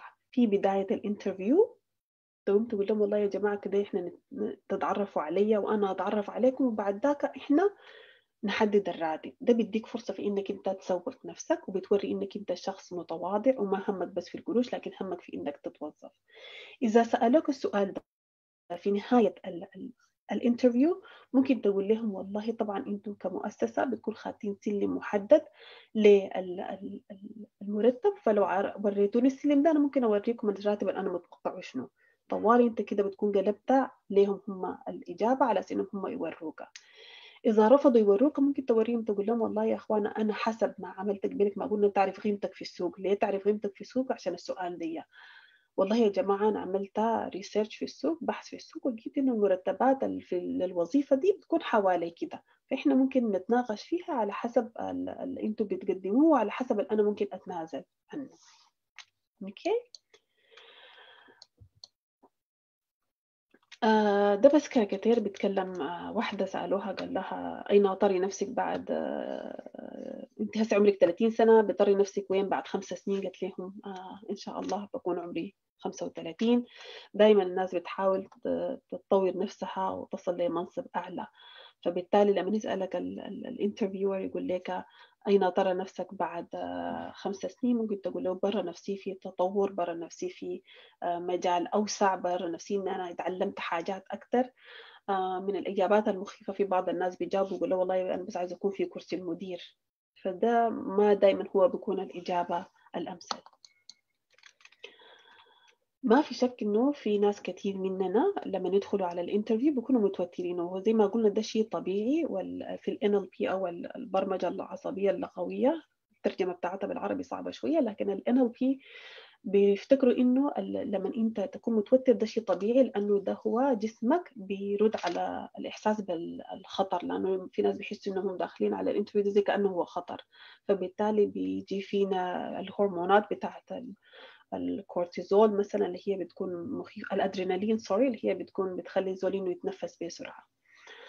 أول حاجة نحاول ناخد نفس ندخل الأكسجين في جسمنا. ده بيزيل نسبة التوتر بطريقة كبيرة جدا جدا. قبلك اتكلمنا إنه الواحد يتكلم بالراحة ما تتكلم بسرعة. لأنك لما تتكلم بالراحة بتدي نفسك فرصة إنك تفكر في الإجابة. ال psychologist أو الناس علم النفس بيقول لك ممكن تثبت رجلينك أنت قاعد تثبت رجلينك في الأرض بصورة قوية. الإحساس ده بيخلي التوتر يمشي من القدمين للأرض والقدمين ما في زول بيكون شايفها غيرك أنت ولا في زول حاسب إنك أنت دايس على رجلينك غيرك. ده برضه بيزيل التوتر. الابتسامة الابتسامة مهمة جدا لأنها بتوصل رسالة للمخ إنك أنت مبسوط وبالتالي الجو حوالين ال interview بيكون إيجابي. الروحانيات حسب أنت دينك. مثلا الناس في الإسلام في سور في القرآن الناس المسيحيين ممكن يستخدموا ال Bible الحاجات دي بتساعد في إنه الواحد يقلل من التوتر شوية. في ناس عندهم طريقتهم الخاصة في إنهم يزيلوا التوتر مثلا يتونس مع شخص هو بيحبه أو مثلا يكون بيسمع له في غنية بتشجعه على إنه هو يكون مبسوط. دي كلها حاجات بتساعد الشخص إنه يتخلص من التوتر. طيب. تكلمنا عن المهارات تكلمنا عن السيرة الذاتية وتكلمنا عن ال interview كده إحنا بقينا عندنا مجال إننا نفكر في إننا نبحث عن وظيفة. دايرين نخط خطة. ليه أنا دايما بقول كلمة خطة؟ أو ليه نخط plan لأنه 87% من الناس الناجحين لما عملوا معاهم interviews لقوا إنهم هم دايما بيخطوا plans لحاجاتهم أو بيخطوا خطة للحاجات اللي هم عايزين يعملوها. بالتالي فكرت في إنه نعمل خطة عشان نبحث عن وظيفة أو عشان نجد وظيفة بإذن الله. أول حاجة نجهز السيرة الذاتية بتاعتنا بالطريقة اللي إحنا قلناها نتفادى الأخطاء الكثيرة اللي ممكن تكون موجودة. آآ آآ مؤسسة الباحثين قدمت session عن ال LinkedIn الناس اللي عندهم فكرة ممكن تعمل ال LinkedIn profile بتاعك لأنه الشركات لما تبحث عنك لما تيجي تقدم عن وظيفة وتسأل عنك بتفتح الفيسبوك حقك بتفتح الانستغرام بتفتح ال LinkedIn profile بتاعك عشان تتعرف عليك بصورة أكثر فبالتالي الحاجة دي مهمة جدا. أكتب قائمة بأسماء الشركات والمؤسسات اللي أنت ممكن تشتغل فيها. إذا أنت تخرجت مثلا عايز تشتغل في مجال الألبان أكتب عايز أشتغل في كابو مثلا عايز أشتغل في مثلا المراعي دي كلها شركات أو مؤسسات أنت ممكن تلقى فيها شغل. فلما تكتب ال list دي بتسهل عليك في إنك أنت كيف ت target الحتات اللي أنت عايز تقدم لها طبعا هسه دي أغلب الإعلانات للوظائف بقت عن طريق الإنترنت. يعني الجرايد والراديو الحاجات دي كانت زمان هسه هي بقت ما موجودة. فبالتالي أكتب أسماء المواقع في النت اللي أنت ممكن تساعدك في إيجاد وظيفة. أنا هقدم لكم بعدين برضو بعض اللينكس اللي بتوريكم المواقع اللي ممكن تلقوا فيها وظائف داخل وخارج السودان. أكتب الأسامي دي وأدخل فيها عشان تقدر تعرف كل مرة الإعلانات عن الوظائف بتتغير. أكتب أسماء المعارف أو الناس اللي بتعرفها اللي هم ممكن يساعدوك في إيجاد وظيفة ودي مهمة جدا وهنا أنا ما بتكلم عن الواسطة. الواسطة موجودة في كل العالم ما بس في السودان هي موجودة يمكن بصوره أقل في أوروبا أو في الدول المتقدمة لكن هي موجودة في كل العالم. أنا لما أقول الأسماء بتاعت الناس المعارف اللي ممكن يساعدوك هم الناس اللي مثلا ممكن يكونوا في شغالين في شركة مرات بتكون في jobs بتاعت contract مثلا عايزين زول يشتغل شهر أو شهرين أو زول يشتغل في project واحد مثلا. أنت لو مثلا محامي والناس دي اللي عايزين محامي لو أنا عارفه إنك أنت بتفتش على وظيفة هقوم أقول لهم والله يا إخوان أنا عندي لكم محامي. لأنه ما بت... الشركة ما بتكلف نفسها إنها تقوم تعمل إعلان عن وظيفة وتقوم تعمل شورت ليستنج وتجيب الشخص بتكون عايز لها عايزة لها شخص لمدة شهر أو شهرين فبالتالي ما بتخش في التكاليف الكثيرة بتاعت التعيين الأساسي لوظيفة كاملة. فبالتالي الحاجة دي ممكن تساعد. دائما إحنا مشكلتنا إننا بنفكر في إنه إحنا بس لازم نشتغل في العاصمة ولازم نشتغل في الخرطوم ولازم نشتغل في لندن. لا. ممكن نكون مرنين قبل قلنا المرونة واحدة من التريتس الأساسية لإيجاد الوظيفة. ممكن نفكر إنه نشتغل برا العاصمة بالذات الناس الخريجين اللي ما عندهم خبرة. ده الوقت المناسب اللي أنت ممكن تكون فيه مفتوح لأنك أنت تتعلم حاجات جديدة. فبالتالي ممكن لو لقيت وظيفة خارج العاصمة أو مكان إغاثتك الناس تتقبل تقبل بها وتحاول تتعلم منها وتبني منها خبرة. إذا في طريقة الزول يشتغل من غير مرتب برضه دي فرصة كويسة جدا. إذا لقيت فرصة بتاعة training شغل من غير مرتب بتتعلم منها رغم إنك أنت بتكلف نفسك لكن برضو بتكون الثمن إنك أنت تتعلم. ممكن برضو شركة مؤسسة الباحثين السودانيين فيها حتات كثير الناس ممكن تتبرع أو تتعامل مع ال volunteering اللي هي دي حاجة مهمة صدقات في في كثير جدا في السودان في المجال الطوعي في مؤسسات كثيرة الناس ممكن تحاول إنها تشتغل فيها بتكتسب خبرات كبيرة جدا جدا. أي خريج يتخرج أنا بشجعه إنه يخش أول حاجة يلقى له وظيفة أو عمل ما بالضرورة وظيفة يلقى له عمل بدون مرتب. في المجال الغير طوعي. حتتعامل مع الفريق حتعرف الناس في الفريق بيتعاملوا كيف حتتعلم المرونة حتتعلم التواصل الفعال اللي تكلمنا عنه. دي كلها حاجات بتتقدم لك بدون مرتب لكن هي فرصة بتاعت إنه الواحد يطور نفسه ويتعلم.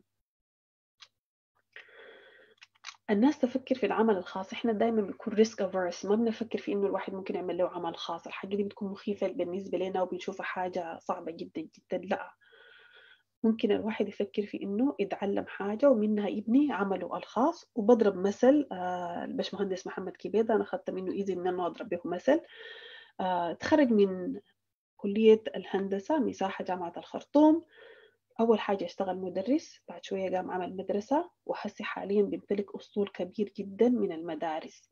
فالواحد يكون عنده الشجاعة إنه هو to take the risk وإنه يعمل العمل الخاص بتاعه وإن شاء الله الواحد بينجح. الواحد ممكن يبدأ بسيط وبعد ذاك بيكبر. اللغة الإنجليزية واللغة الإنجليزية واللغة الإنجليزية. It's the international language. هي اللغة العالمية فبالتالي اللغة الإنجليزية مهمة جدا جدا وبتوسع فرص الشخص في إنه يلقى وظيفة. مهم جدا إنه أنا عارفة إنه تعلم اللغة هو صعب جدا جدا لكن في مؤسسات وفي شركات كثيرة الناس ممكن يتعلموا منها الإنجليزي. الزول لو فتح الراديو سمع زي ما قال سعيد صالح البي بي سي الواحد برضه ممكن يتعلم اللغة الإنجليزية. هي بتكون صعبة لكن البداية مهمة. آخر حاجة بختم بها هي الواحد إنه يحاول يطور نفسه يطور ذاته إنه يقرأ يتدرب مهنيا يعمل حاجة مختلفة تساعده على إنه هو يطور نفسه وتفتح له مجال للوظيفة. طيب برضو هعمل لكم copy paste للحاجات دي. هي دي المواقع. آه أنا لقيتها في السودان آه أوروما في هبة International في Sudanese Career دي بعض المواقع اللي هي بتساعد الناس في إنهم يلقوا وظائف. الناس ممكن تتابع فيها. الناس اللي عايزين يطلعوا الخليج في ال Gulf Talent في Bayt.com في باكني دي كلها وظائف آه جهات ممكن الناس تلقى فيها وظائف. وبرضه هعمل لكم paste لل international arenas اللي بيعملوا فيها إعلانات للوظائف. آخر حاجة وآخر نصيحة عايزة أقول لكم الواحد ما يقدم لوظيفة هو عارف إنه ما حياخدوها فيها. إذا أنت عارف إن الوظيفة دي ما حياخدوك فيها ما تقدم لأنه الحاجة دي بتأثر في نفسياتك بتأثر في ثقتك بنفسك آه السيرة الذاتية بتاعتك ذاتها لما تكون موجودة كتير في كل الحتات ده بيقلل من قيمتك. فبالتالي حاول تركز مجهودك في إنك تقدم لوظيفة يكون في احتمال كبير جدا إنه ياخدوك فيها. آه شكرا لاستماعكم. للأسف ال session ده ما ما كان interactive ما قادرين إحنا آه عشان العدد كبير ما قادرين نعمل unmute على إنه نسأل الناس وندي آه برنامج الناس تقدر تواكب فيها. أرجو إني أكون قد أفدتكم حتى ولو بالقليل. وزي ما قلت لكم أنا ما عندي كل الأجوبة دي, دي كلها حصيلة خبرتي في مجال العمل. وشكرا لكم. شكرا جزيلا أستاذ ريم. والله محاضرة رائعة للمرة الثانية. أنا ووفي أساعدك في إذا عندك زمن يعني في الاجابه على بعض الأسئلة. آه كانت أروع من المحاضرة الأولى. آه آه أنا شخصيا حضرت المحاضرة الأولى واستفدت كثير ولسه بستفيد أكثر. الشباب يا شباب الزول اللي عنده سؤال زي ما قلت لكم يرفع يده نعمل له mute أنا بحاول أقول لك الأسئلة والتعليقات اللي كتبت في مجموعة الفيسبوك. جدا. في سؤال من أحمد آدم. أنت you're unmuted ممكن تعلي صوتك بس شوية يا يا أحمد ما سامعك ألو سامعني كده يا أستاذة؟ الصوت بس بعيد شوية. تمام دقيقة بس. أيوه يا وافي. أيوه. كده الصوت واضح؟ أيوه كده اوضح تمام. أحمد آدم عندك سؤال. أنا فكرت لك فتحت لك المايك. تفضل.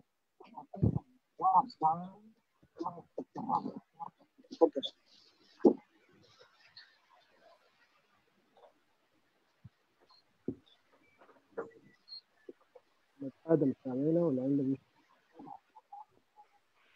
طيب نشوف بعده. آدم.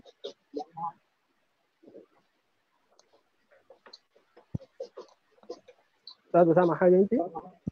أنا ما سامع حاجة آه، الصوت ضعيف شديد بالنسبة لي. طيب نشوف احمد أدم ما جاهز نشوف غيره نور الدين حسن. نور الدين حسن ظهر معي you are unmuted تفضل أسأل. نور الدين حسن. أفتح المايك و- السلام عليكم مساء الخير. أهلا يا أستاذ نور الدين مساء النور. أنا دكتورة وجزاك الله خير وبجد والله محاضرة جميلة جدا وممتازة. شكرا كتر خيرك. أنا من الخريجين الجدد ويا داب بديت كتبت السيرة الذاتية وخايلي مشروع يعني بجد عندي أنا أخطاء كثيرة بحاول أعدلها. استفيد من المحاضرة دي إن شاء الله. إن شاء الله إن شاء الله. كلنا لما نتخرجنا كنا بنغلط وما بنكون عارفين فيا إن شاء الله تستفيد منها. إن شاء الله يلا سؤالي الأول أنا قدمت بالسيرة الذاتية الحقين عملتها بنفسي بعد ما اتخرجت وحسي بعد ما شفت المحاضرة لقيتها فيها بعض الأخطاء يعني قرابة ثلاثة خطأ وقدمت بها في وظيفة بتاع التدريب السؤال. الأول اللي بيحصل شنو تمام. السؤال الثاني بالنسبة لمواقع التواصل الاجتماعي والمواقع بتاعت الوظائف الزول أيوة. أيوة. طوال يرفع السي في حقه مباشر وكثرة يعني رفع السي في على ال- ال website. هل ده مفيد ولا فيها سلبيات؟ تمام. طيب. طيب بالنسبة للسؤال الأول لو ال CV بتاعتك فيها بعض الأخطاء ده بيعتمد بعد ذاك على عدد الناس المقدمين للوظيفة. إذا العدد كبير آه، وعلى حسب برضو الشخص اللي هو قائم بعملية ال- التصفية إذا هو عنده زمن ممكن يعين السيرة الذاتية بتاعتك وبعد ذاك إن شاء الله بإذن الله تعالى. ممكن نراجعها وبإذن الله ينادوك للقائمة القصيرة. إذا ما حصل كده بكون أنت استفدت وتعلمت وما في مشكلة إن شاء الله المرة الجاية تقدم وتنجح في الوظيفة. بالنسبة لرفع ال CV بتاعتك أيوة دائما لازم ترفع ال CV بتاعتك بيكون في المواقع اللي بتقدم لها أونلاين دي أو في الإنترنت بيكون فيها برضه فرص إنه الواحد يرفع يرفق ال CV بتاعته أو يعمل لها attachment تعمل لها attachment وتملى ال form بتاعك وترسلها دي حاجة أساسية. ال- الكمبيوتر بيعمل screening لل form اللي أنت بتملاه ال CV أو السيرة الذاتية لما تعمل لها attachment دي معناتها لما ال- الكمبيوتر يعمل لك تصفية ويلقى إنك أنت مثلا آه، كويس للوظيفة دي بيعملوا زي 100 CV بيطلعها. بعد ذاك موظف التعيين بدل ما يصفي ال 2000 CV اللي بتجيه بيصفي بس ال 100 CV دي وبيقوم براجع السيرة الذاتية بتاعتك عشان يشوف إنها هي متطابقة مع الوظيفة أو غير ذلك. تمام؟ تمام تمام. ممتاز. شكرا. شكرا. بالتوفيق إن شاء الله. الله يكرمك إن شاء الله. طيب آه، السؤال اللي بعده محمد موسى. تفضل المايك بتاعك مفتوح. بعد محمد موسى أروى. السلام عليكم ورحمة الله. أهلا يا أستاذ. محمد. آه طبعا المحاضرة كانت جميلة جدا. شكرا لكم شديد. طبعا استفدنا منها شديد والله. شكرا لكم الله. جدا. آه عندي بس حاجة بسيطة أقدر أتكلم عنها. أنا اسمي محمد موسى شغال في شركة أمازون هنا في دبي. آه عندي خبرة خبرة في عملية كثيرة جدا لقريب عشر سنوات.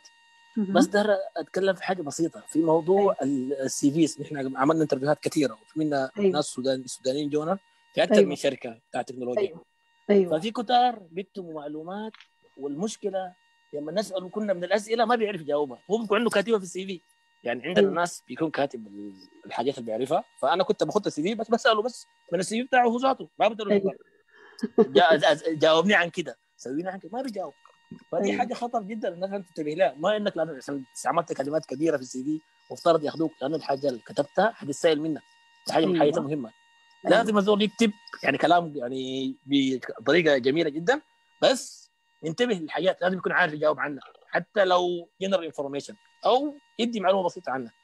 دي حاجة. وحاجة سريعة ثانية عن موضوع ال salary expectations أيوة. نحن عموما يعني في الشغل بنشتغله بنكون خاطين طبعا range حق salaries وكده للناس. أيوه. فلما نسأل عموما نحن بس عاوزين نعرف الزول يعني هل هو أصلا عارف ال- ال range ولا لا؟ انه هو فاهم الشغل ده بياخذ كم ولا بياخذ كم. نحن خدنا ال package وما حنغيرها يعني عموما نحن معظم الوظائف خطيناها إذا كانت junior إذا كانت senior ال salary مخطوط ما حننزله. إذا الزول يعني كده مرات نطلب حتى زيادة للزول لو الزول لقيناه قوي شديد بنضطر نطلب زيادة له عشان نديه ال- البتاع ده. لكن شنو؟ لما نسأله نحن يعني خاصة الشركات البتاع نسأل الزول بس عاوزين نشوف ال ready ال readiness بتاعته كيف. جاهز ما جاهز عارف ما عارف. في ناس بيجاوبوا كويس في ناس بده range ودي حاجة كويسة جدا. بقول نحن we expect from كده لكده. دي حاجة كويسة جدا دي الحاجة اللي إحنا بنحبذها وفي ناس أيوة. بيخسفوا من نفسهم الأرض بدون حاجة كده تحت شديد. أيوه. ذاته حاجة كان من حيث مستغرب منها دي أيوة. الحاجة اللي بتاع حاجة سريعة عن موضوع ال cover. letter أنا ما حضرت المحاضرة اللي قبليها ما عارف تكلمت عنها قبل كده. فما عارف كنت تكلمت عنها برضه دخلت هنا الليلة برضه متأخر شوية. فما عارف آه، دكتورة تكلمتي عنها ولا لأ موضوع ال cover letter اللي أيوة. بيحطوها مع ال CV وبيبعتوها. أيوه. ده بس اللي عندي آه. شكرا لكم جدا. الله يديك الصحة والعافية. شكرا. كتر خيرك. سؤال جميل جدا جدا. آه، آه، طبعا ال CV أي حاجة أنت بتخطها في السيرة الذاتية زي ما قلنا قبلك هي بتكون عرضة لسؤال. أي حاجة بتتكتب إحنا ال interview بتاعك بتكون في عرضة لإنك تتسال منها. فمهم جدا إنه أي حاجة تكتبها تكون هي أنت مستعد على إنك إنك تدافع عنها أو توضحها أثناء الانترفيو بالنسبة لل زي ما قال الأخ محمد مهم جدا جدا إنه الواحد يعرف قيمته في السوق عشان لما نسألوه المرتب المتوقع هو شنو يقدر يجاوب عليه فدي حاجة مهمة الناس تحاول دائما تعرف آه، سعر الزور في السوق آه، قدر شنو المرتبات آه، وصلت وين الواحد يكون متابع. بالنسبة لل cover letter لا أنا ما غطيتها هنا ولا حتى غطيتها في المحاضرة اللي فاتت لأنه ال cover letter هسه بقت obsolete تقريبا ما قاعدين نستعملها كثير بتستعملها دائما في المنح أو في وظائف محددة لكن بقت ما مستخدمة كثير جدا. آه، ال cover letter هي عبارة عن اختصار آه، بيوري آه، تحديدا أنت الشغف بتاعك هو شنو اشتغلت شنو وقدرتك أو ال strength بتاعتك هي في شنو. في شكل اساي ما في شكل بتاع السيرة الذاتية. متأسفة إني ما غطيته هنا لأنه ما حاسة إنه في كثير من حسب خبرتي ما في كثير من المؤسسات أو الشركات بتطلبها عادة بيطلبوها وبعض الشركات بقت بسيطة جدا الناس بقت بتركز فقط على السي في. كلام جميل يا أستاذ لكن ما في مشكلة لو عندك أي حاجة في ال في ال في الكفر لتر أو لو الناس حاسة إنه محتاجة إنه آه، محاضرة في ال cover letter أو session في ال cover letter ما في مشكلة أنا ممكن أقدم مرة تانية session حاليا لو عندك أي مشكلة ما في مشكلة ممكن تتواصل معي في الخاص أحاول أساعدك في ال cover letter okay؟ تمام كلام جميل. آه، طيب في سؤال في الشات كتبه مرتضى باسم السيد. بقول هل ممكن أكتب في نهاية الرسالة انتظار رد منكم أو أتطلع لرد على رسالتي؟ وهل التوقيع وكتابة رقم الجوال والبريد الإلكتروني في الرسالة مهم؟ أنا ما ما سامعة كويس السؤال. سؤال مرتضى بيقول أنا ممكن أكتب في نهاية رسالتي أتطلع للرد من منكم أو في انتظار ردكم؟ ال cover letter أيوه ممكن تكتب إنه أنا متوقع منكم رد. أما في السيرة الذاتية أو ال CV لا السيرة الذاتية هي formal document أو آه، يعني document رسمية ما بتحتاج تكتب فيها. أنا متوقع منكم الرد لأنه شيء طبيعي إنه هم يردوا عليك إذا اختاروك في ال short list طبعا لو قدموا ألف شخص قلنا أو 2000 شخص ما حنقدر نرد على كل الأشخاص. في بعض الشركات عندهم automated emails اللي هي بتقوم بترسل للناس كلها اللي قدموا اللي بتعتذر لهم أو بتنادي الناس اللي هم كتبوا في ال short list ما بتحتاج يا اخ مرتضى إنك تكتب بتوقع منكم رد من زوج الشركة أو من ال- التعامل بتاع الشركة هي أصلا المفروض ترجع عليك. تمام مرتضى مشى طبعا أنا وفي بساعد فيك في الأسئلة. طيب السؤال أروى. أروى you are تفضلي. بعد أروى أحمد آدم للمرة الثانية. حاول شغل الميكروفون. أروى. السلام عليكم. أهلا وعليكم السلام. أول حاجة بشكركم على المحاضرة الجميلة دي وقيمة كانت قيمة جديد. آه سؤالي هو بالنسبة لل في ال CV المحاضرات ال- الأونلاين دي الكورسات الأونلاين ناس إيدكس أو كورسيرا ودي هل هي بتضيف لل CV ولا لا؟ والسؤال الثاني برضو في الاختيار ال- الوظيفة يعني أنت ك ك معينة للو- للوظيفة بتركز على الحاجات دي ولا لا؟ يعني هل بتأثر في قرارك على اختيار الشخص ده ولا لا؟ الكورسات أيوة بتساعد. إذا كانت كورسيرا أو أي كورسات تانية أضافت لك وتعلمتي منها هي بتساعد. دفنت أنا لما أقرأ السي في بتاعتك وألقاك إنك أنت عاملة كورسات أهم حاجة إنه الكورسات اللي أنت بتاخديها أو كاتباها في السيرة الذاتية دي تكون لها علاقة بالوظيفة اللي أنت مقدمة ليها. يعني مثلا إذا أنت مقدمة لوظيفة بتاعت محاسب وتكتبي لي إنك أخذتي مثلا كورس في علم النفس ده ما له أي علاقة بالمحاسبة بالتالي ما بيعني لي حاجة حيطول السيرة الذاتية ساكت. أما إذا أنت عايز تقدمي للمحاسبة وأخذتي كورس مثلا في آه، المراجعة المحاسبية مثلا أيوة ده حيكون آه، مهم بالنسبة لي وحسألك سؤال حقول لك تعلمت شنو من الكورس دي؟ أول ما أقرأ إنك أنت عملت الكورس ده وله علاقة بالوظيفة واحد من الأسئلة اللي حسألك لها حقول لك يا أخي الكورس ده اللي أنت تعلمتي منه شنو وريني ليه؟ عشان أنا أقدر أعرف إنك الكورس ده دخلتيه وأخذتي شهادة ساكت ولا دخلتيه وتعلمتي منه حاجة حتضيفي بيها للوظيفة؟ كلام. جميل. طيب آه، الفرصة لأحمد آدم للمرة الثانية. يوران ميوتد أحمد آدم. بعد أحمد آدم آه، دكتور رشا جعفر. أحمد آدم اتفضل ميكروفون مفتوح. أحمد آدم. طيب. رشا جعفر دكتورة رشا جعفر اتفضلي. السلام عليكم. أهلا. أحمد آدم أحمد آدم اتفضل. تمام شكرا يا دكتور على المحاضرة الجميلة. الله يبارك فيك. شكرا لك للاستماع. هل مفيد بس يعني أنا خريج زوج جديد يعني خرجت كده ومثلا اتاحت لي فرصة بتاعت وظيفة. فمثلا عايز أكتب ال- مثلا السي في ولا داير أقدم في الوظيفة دي المطلوب شنو يعني مثلا بالنسبة للسي في أيوة. ده السؤال سؤالي السؤال شنو؟ يلا. السؤال مثلا أنا تخرجت ما اشتغلت في أي شغل. أيوة.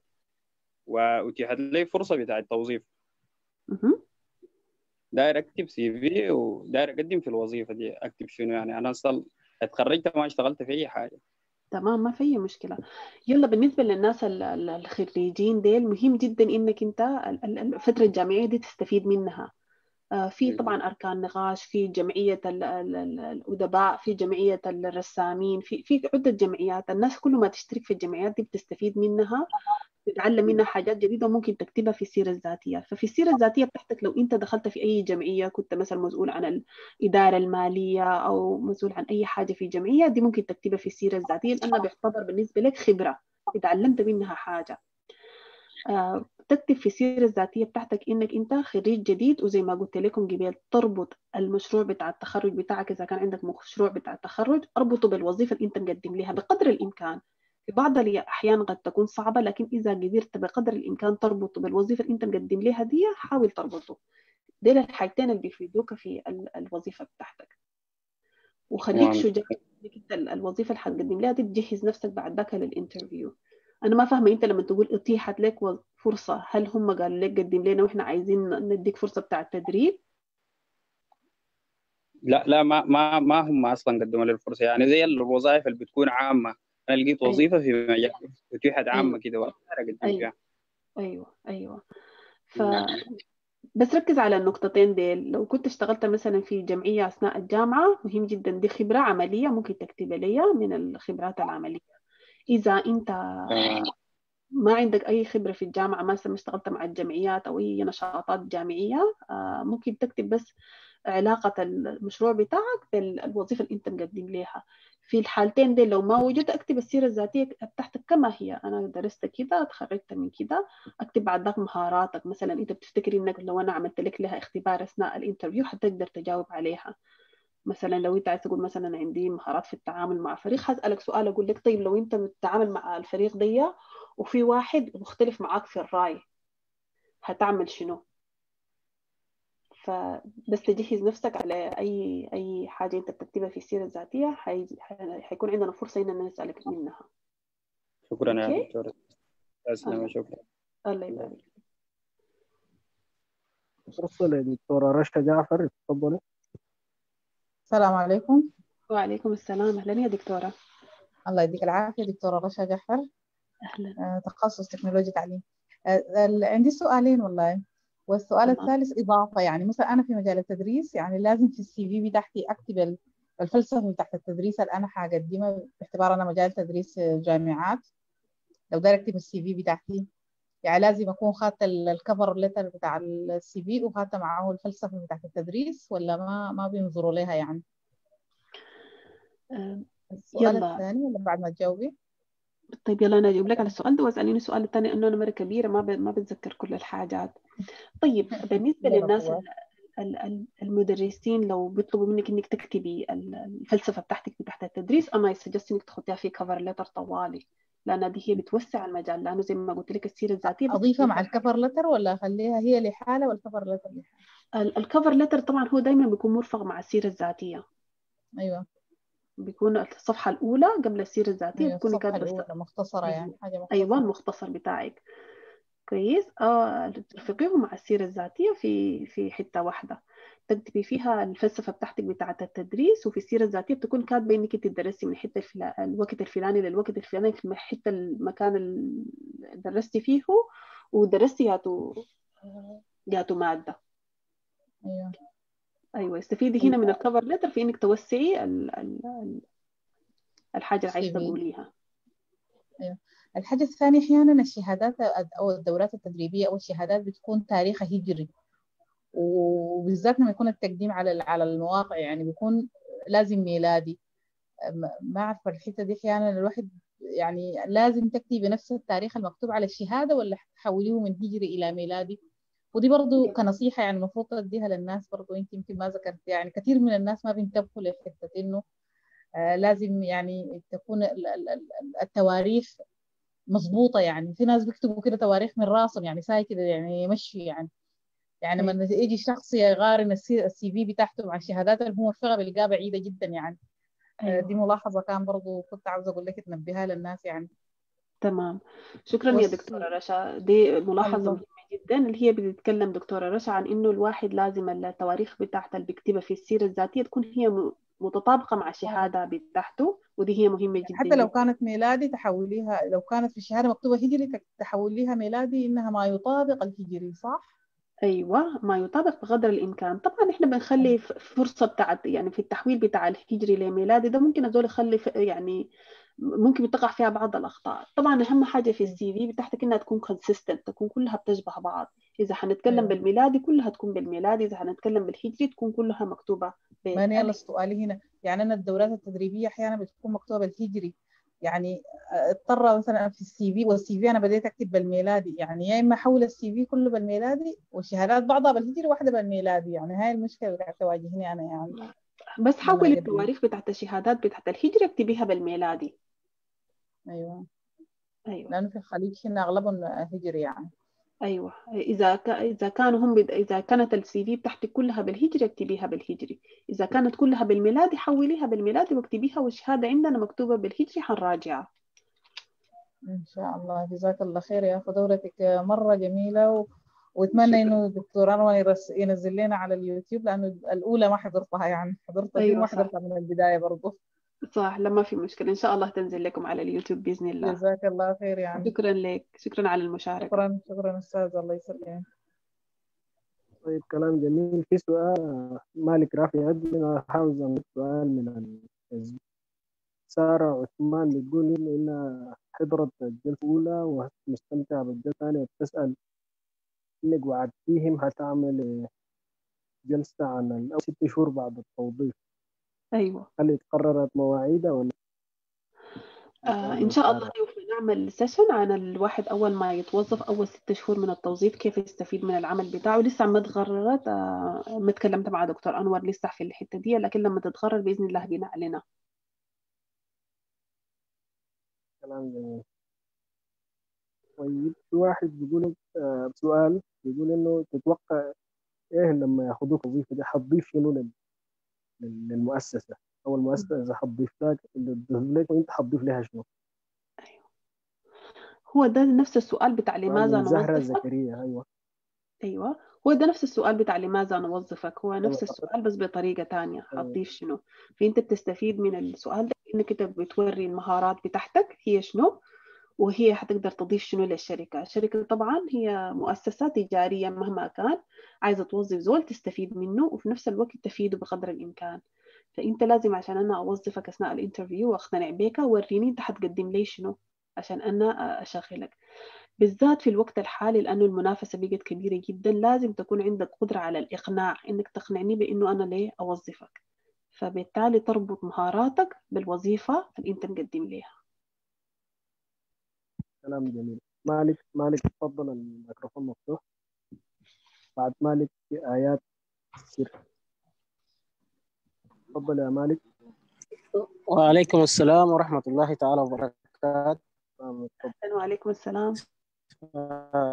كل الإخوة والأخوات.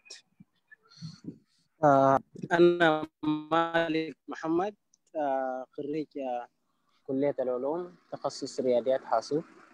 وعندي ماستر في الرياضيات. أنا عندي سؤال بس سؤالي بخصوص عن اللغات. أيوة. طبعا في بعض الناس بعملوا ال CV وبعد ذاك في ال CV اللغات بعملوها جدول وذاك بدو يعني مثلا لغة إنجليزية في speaking uh, very good أو excellent. دي حل إنه أنا نعمل جدول في السي في ولا نعمل بدون جدول على حسب كثير من الناس بيقول يا مهم. في كثير من الناس بيقول يا أخي السي في ما في داعي تعمل جدول بالذات خصوص اللغات ده شكرا على السؤال يا طبعا هي ممكن تعمل جدول في السيرة الذاتية طالما الجدول ده ما حيخلي شكل السيرة الذاتية نعم. يكون الشكل بتاعها مهم جدا إنه يكون شكل جذاب وشكل مرتب وشكل منظم. إذا عملت جدول باللغات اللي أنت بتتحدثها ودي بتوضح مثلا قدراتك اللغوية ما في مشكلة. ممكن تكتب الجدول. لكن في مفاجآت بعض الناس بيقوموا بيكتبوا لغاتهم يكونوا ما بيجيدوها. أثناء الانترفيو بيقوموا بيسألوهم. آه الناس فجأة ممكن تلقى شخص بيتكلم معاك اللغة اللي أنت كاتبها دي مرة واحدة جات هي بتتكلم لغة أسبانية كاتبة وأنا أنا بتكلم لغة أسبانية فأثناء ال interview قمت سألتها سؤال بالأسباني ما قدرت تجاوب. مجرد ما أنت أنا حسيت إنك أنت كذبت في ال interview بتاعك ما بواصل في إني آه، ما أمشي معك في ال interview لقدام. okay Okay عندي سؤال تاني. آه كيف أنا أقدر أرفق ال CV بتاعي في ال social media آه، في في في, في لو مشيت لليوتيوب المواقع. في ال- الباحثين السودانيين عملوا session عن ال LinkedIn profile لو فتشت في ال في اليوتيوب حتلقى في صفحتهم في ال LinkedIn profile بوريك كيف ترفق ال CV بتاعتك في ال social media اسمها LinkedIn profile في محاضرة كاملة عنها. Okay. تمام؟ Okay شكرا لكم كثير وبارك الله فيكم شكرا لك. الحمد لله. آه كلام جميل. آه في سؤال من مكة محمد هنا في الشات بتاع الزوم بتقول لما أرسل ال CV على الإيميل هل أرسل ال CV ومعاه كل الشهادات والدورات التدريبية ولا لا؟ لا. بس بس لو رسلت ال CV بتاعتك كفاية ال CV بعد ذاك إذا اتصفت ووصلت للقائمة القصيرة بنرسل لك نقول لك عليك الله أرفق الشهادات بتاعتك كلها عشان نقدر نشوفها ونطابقها مع السيرة الذاتية بتاعتك زي ما قالت دكتورة رشا جبالك. آه نقدر نشوف إنه الكلام المكتوب في ال CV هل هو مطابق مع الشهادات أو لا لكن ما في داعي. في ناس بيرسلوا السيرة الذاتية ويرسلوا الشهادات بتاعتهم ويرسلوا الرخصة بتاعت السواقة بتاعتهم والجواز بتاعهم. ما, ما في داعي ترسل كل الحاجات دي بس السيرة الذاتية. كلام جميل. تقوى إدريس تفضل المايك فاتح. السلام عليكم. سامعني؟ وعليكم السلام. أهلا. آه كويس. أنا يعني مبسوطة جدا طبعا يعني من ال interactions اللي هسه حاصلة بخصوص ال CV وال marketing وال branding يعني زي ما قال إحنا ما عندنا صوت كان واصل لكن كتر خير دكتور أنور يعني ومجموعة النيرة اللي أنتوا هسه معاه أنا للأسف جيت على ال last بتاع يعني على ال- session أنا اسمي دكتورة تقوى وطبيبة و graduated وأصلا researcher حاليا في US ف وأنا ب- يعني أنا اشتغلت through LinkedIn و graduated من السودان. واي نعم عملت جزء من ال postgraduate بتاعي في مصر لكن في الآخر ال position أنا جيته هنا ما عنده علاقة بتحضيري في مصر. العلاقة بتاعته الأساسية إنه أنا زولة graduated من الجامعة فقط. هم ما دايرين ما دايرين أي حاجة إضافية كانت. آه، ده عطفا على سؤال الولد اللي كان بيتكلم عن ال أنا طبعا معلش زولة كبيرة شوية فبقول ولد يعني مع احترامي الشديد لك آه الك- كان قال إنه هو fresh graduate يعني فيكتب شنو في ال CV. آه وردك كان ممتاز جدا وأضيف على كده في الإشكالية بتاعة الكوبي بي اللي هو الكوبي بيست دي ما عارفة تكلمتي عنها ولا ب- سهل جدا الناس الاكسبرت إنهم يعرفوا إذا أنتوا ناقلين السي في ده بيصمتوا مثلا من مك... آه اللي هو ما عارفة بيسموها شنو شايفينها مثلا من حتة تانية ولا لأ. لازم لازم أنح... يعني ما بقول إنه نكتب نألف الم... يعني ما في ما في بني آدم بيقدر يكتب كل الحاجات unique لكن في نفس الوقت يكون في شكل من أشكال آه، التميز إنه الحاجة دي أنت عملتها وبذلت فيها مجهود. ما يبقى شكل ال CV إنه هو copy paste من مكان. يعني أحيانا الواحد بيحاول يساعد ناس إنه يلقى لهم positions ولا أي حاجة. لو تقول لزول رسل لي ال CV أو رسل لي ال CV بتجي الحاجات عبارة عن copy paste وظاهرة. يعني أنا اللي ما شغالة في HR بكون عارفة إنه ده copy paste من ال language من طريقة ال- الرصه تحت الحاجات من من الأسلوب من حتى شكل يعني في شكل بتاع skills إحنا أصلا ما موجود عندنا حتى في تدريبنا مثلا في المستشفيات السودانية. فما ممكن تجي تكتبها لي يعني. واصلا أنا متأكدة 100% إنه أنت ما عملت على الأقل أنا بتكلم في مجالي يعني أيوه. الطب أنا بعرفه. أيوه. آه، دي حاجة. الحاجة الثانية ويعني تخيلوا يعني إنه أنا مثلا أنا واحدة بس بيكون دوري زي ما بقولوا دور المناولة بس ما عندي حاجة تانية إضافية بعملها يعني. أيوه. فالزول ال expert definitely حيعرف. دي دي نقطة. النقطة الثانية الحتة اللي قلتيها دي حتة مهمة جدا إنك تعرف نفسك وقيمتك في السوق. ال- الحاجة ال- اللي بتحصل هنا ودي بشوفها. يعني آه، أنا أنا الفترة بتاعتي temporary وحخلصها وحارجع لكن اللي بيحصل شنو؟ الطرف الثاني اللي بيوظفك عادة بيكون ال budget بتاعه دي بعد كده يعني إحنا عرفناها في كور في كورسز اتعملت. يعني بيكونوا حريصين to develop ال employees بتاعهم وكده وبيوروهم الدنيا بتمشي كيف. فقالوا لنا إحنا دايما بيكون في average بتاع budget قاعد. لما أنا أجي أخد قدامي وأقول لك طيب انت عايزة مرتبك نفترض جدلا يعني مثلا آه انت قلتي أنا عايزة خمسة في الشهر. هو definitely خدتي سبعة. فلو فلو انت قلتي لو انت قلتي الخمسة انت هو ما حيقول لك يا أخي انت قيمتك سبعة. ما دام انت مقيمة نفسك كده that's it انت كده ريحتيني. لكن طبعا لو قلت لي ثلاثة بعد كده أنا حأبدأ أشك أصلا إنه انت معناته في underestimation لل لل abilities بتاعتك. ومعناته في weak point فيكي موجودة. فأنا ببقى reluctant بعد كده في إنه أنا أديك ال... الوظيفة. فمهم جدا نعرف نفسنا ونعرف ال average بتاعنا ونفتش نفتش في ال market ونسأل والسؤال عمره ما كان عيب. نمشي المكان اللي إحنا عاي... حنتوظف فيه أو المكان اللي حنعمل فيه interview ونسأل السؤال. دي الحاجة الثانية الحاجة الثالثه ودي حاجة أنا لاحظتها يعني دي من تجاربي الشخصية وبعد كده الواحد بعد ما بقى بي بي بي يعني بيشوف وبيسمع مع الناس وكده نحن ما بنعمل training لنفسنا. يعني أنا ماشية interview ما بعمل training لنفسي قدام المراية مرة ومرتين وثلاثة وأربعة. الناس دي بتعيد وبتعمل rehearsal خمسة وستة وسبعة وقدام المراية ومع زملانه ومع زميلاته وبيتصلوا تلفونات وفجأة تلقي في زول بيتصل بيك بيقول لك أنا مثلا وناس يعني أصلا ما جنسيتك ذاتهم ولا ولا بيعرفوك عرفة يعني تذكر يعني. بيقول لك أنا عايزة أتصل عايزة أعمل معاكي regard uh, I have interview tomorrow وكده. فما عايزة أطول معاكم يعني هو ما سؤال على قدر ما هو بس يعني آه زي ما بيقولوا من قلب الحدث ما نستهين بال, بال, بال, بال هي مش social media يعني professional media الموجودة زي LinkedIn profiles و Indeed والحاجات دي. نرفق CVs بتعبر عننا نكون صادقين نكون honest يا ما في بني آدم بينفخ نفسه ما بيظهر في ال interview والله بنظهر.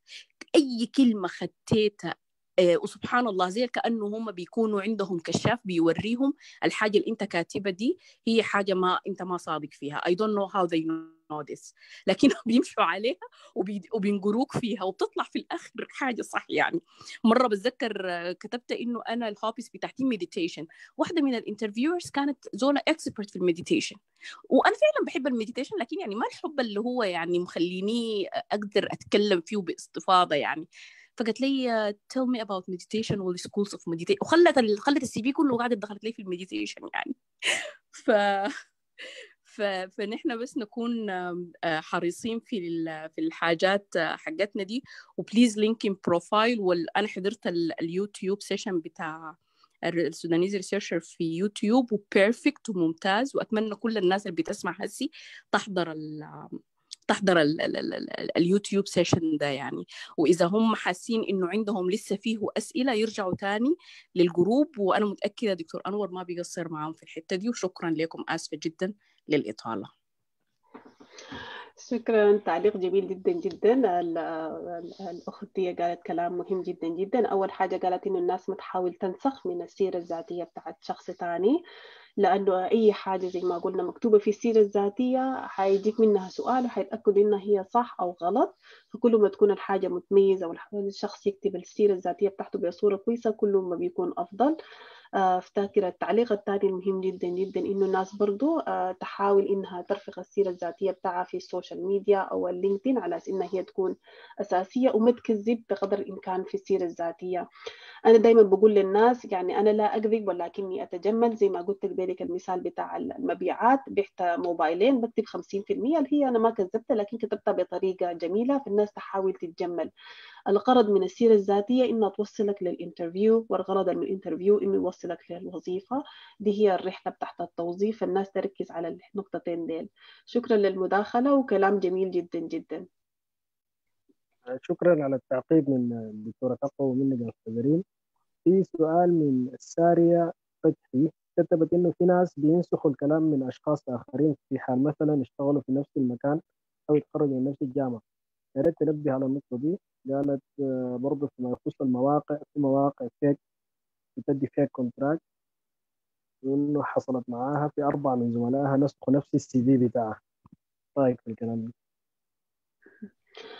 آه، طبعا إحنا عندنا لازم برضو نكون واقعيين. إحنا عندنا ضعف في الثقافة بتاعت السيرة الذاتية وكتابة السيرة الذاتية ويعني إحنا ما عندنا مثلا ما عندنا الحاجات اللي هي موجودة مثلا في الغرب كل بيت فيه كمبيوتر وكل بيت فيه لابتوب. أنا لما السنة شهر 12 لما مشيت السودان بقدم في نفس المحاضرة دي في بعض الجامعات أول مرة أكتشف إنه الناس بتكتب السي في بتاعتها في الموبايل. ففي ناس ما عندهم بيكتبوا الحاجات بتاعتهم دي في الموبايل. فبيصعب عليهم إنهم مثلا يكتبوا الحاجات بالتفاصيل. ما في مانع إنك أنت لو عايز تنسخ أو ت copy الحاجة copy لكن أعمل ال changes المناسبة فيها. زي ما قالت الدكتورة تقوى إذا جاتني CV تين من صديقتين صحبات اشتغلوا مع بعض رتبوا ال CV بتاعتهم ال- الاثنين زي بعض definitely ما حعين ليهم. إذا أنت عايز آه تنسخ أنسخ لكن أعمل التغييرات المناسبة اللي بتخلي ال CV بتاعتك مختلفة من الآخرين.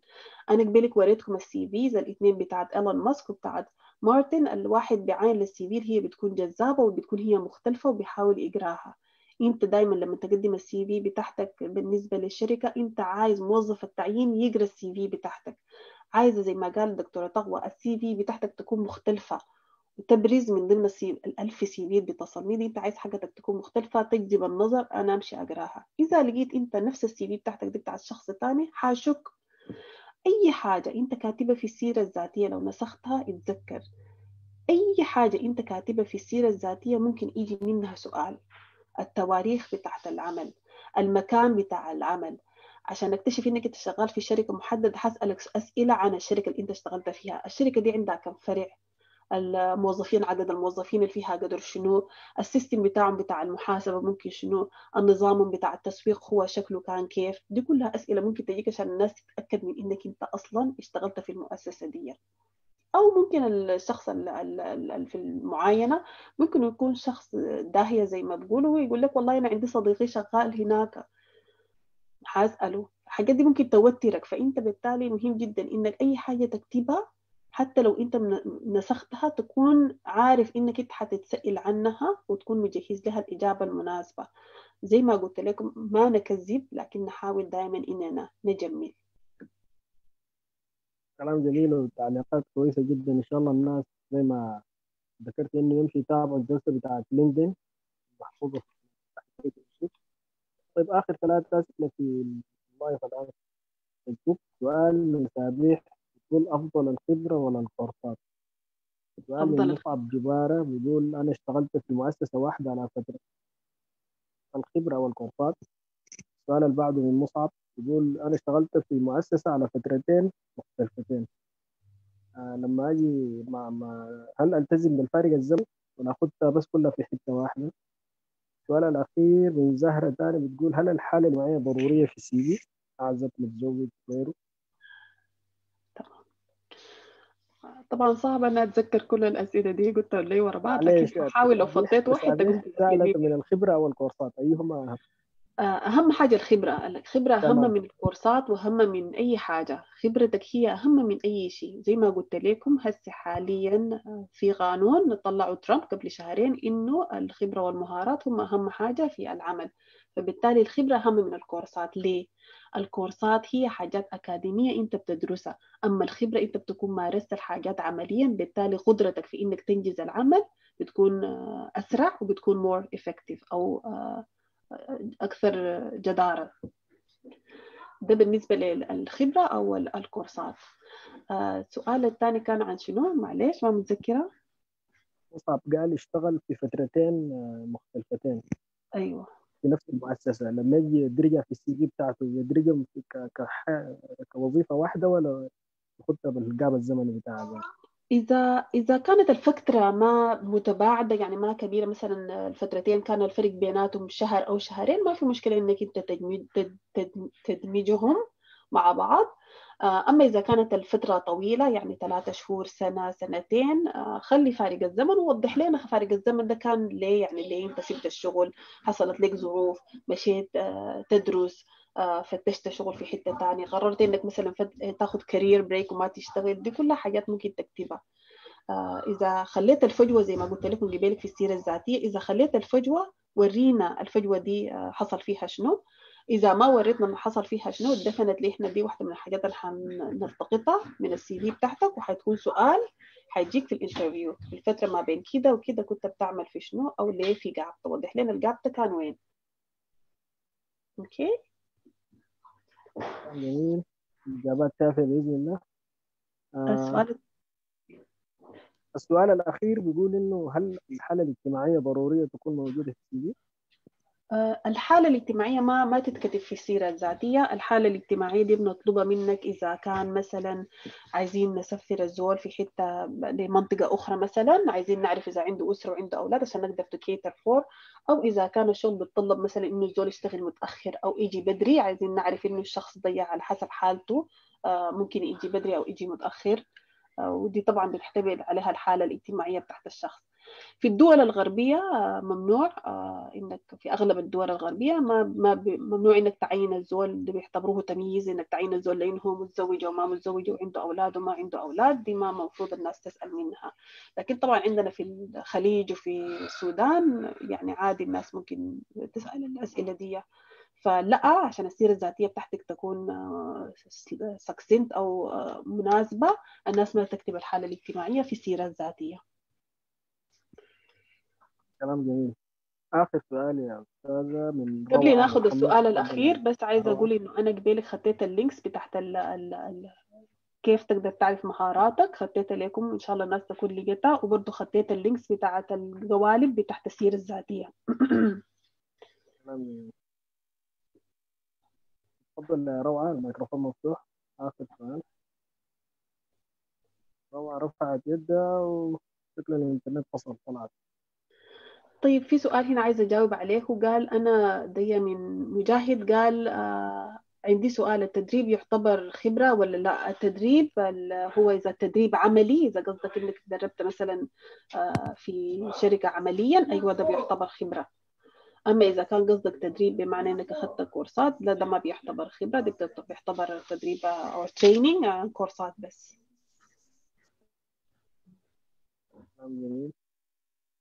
آه شاكرين لك جدا يا أستاذ إذا عندك إضافة أخيرة قبل ما نختم الجلسة أنا ما سامعك يا أستاذ وافي معلش السؤال شنو؟ لا ما في الأسئلة أنا قلت لك شاكرين لك جدا على الجهود اللي قدمتيها في مسيرة التوظيف okay. وكتابة السيرة الذاتية إذا عندك إضافة أخيرة أو أي تعقيب قبل ما ننهي الجلسة عشان تمام.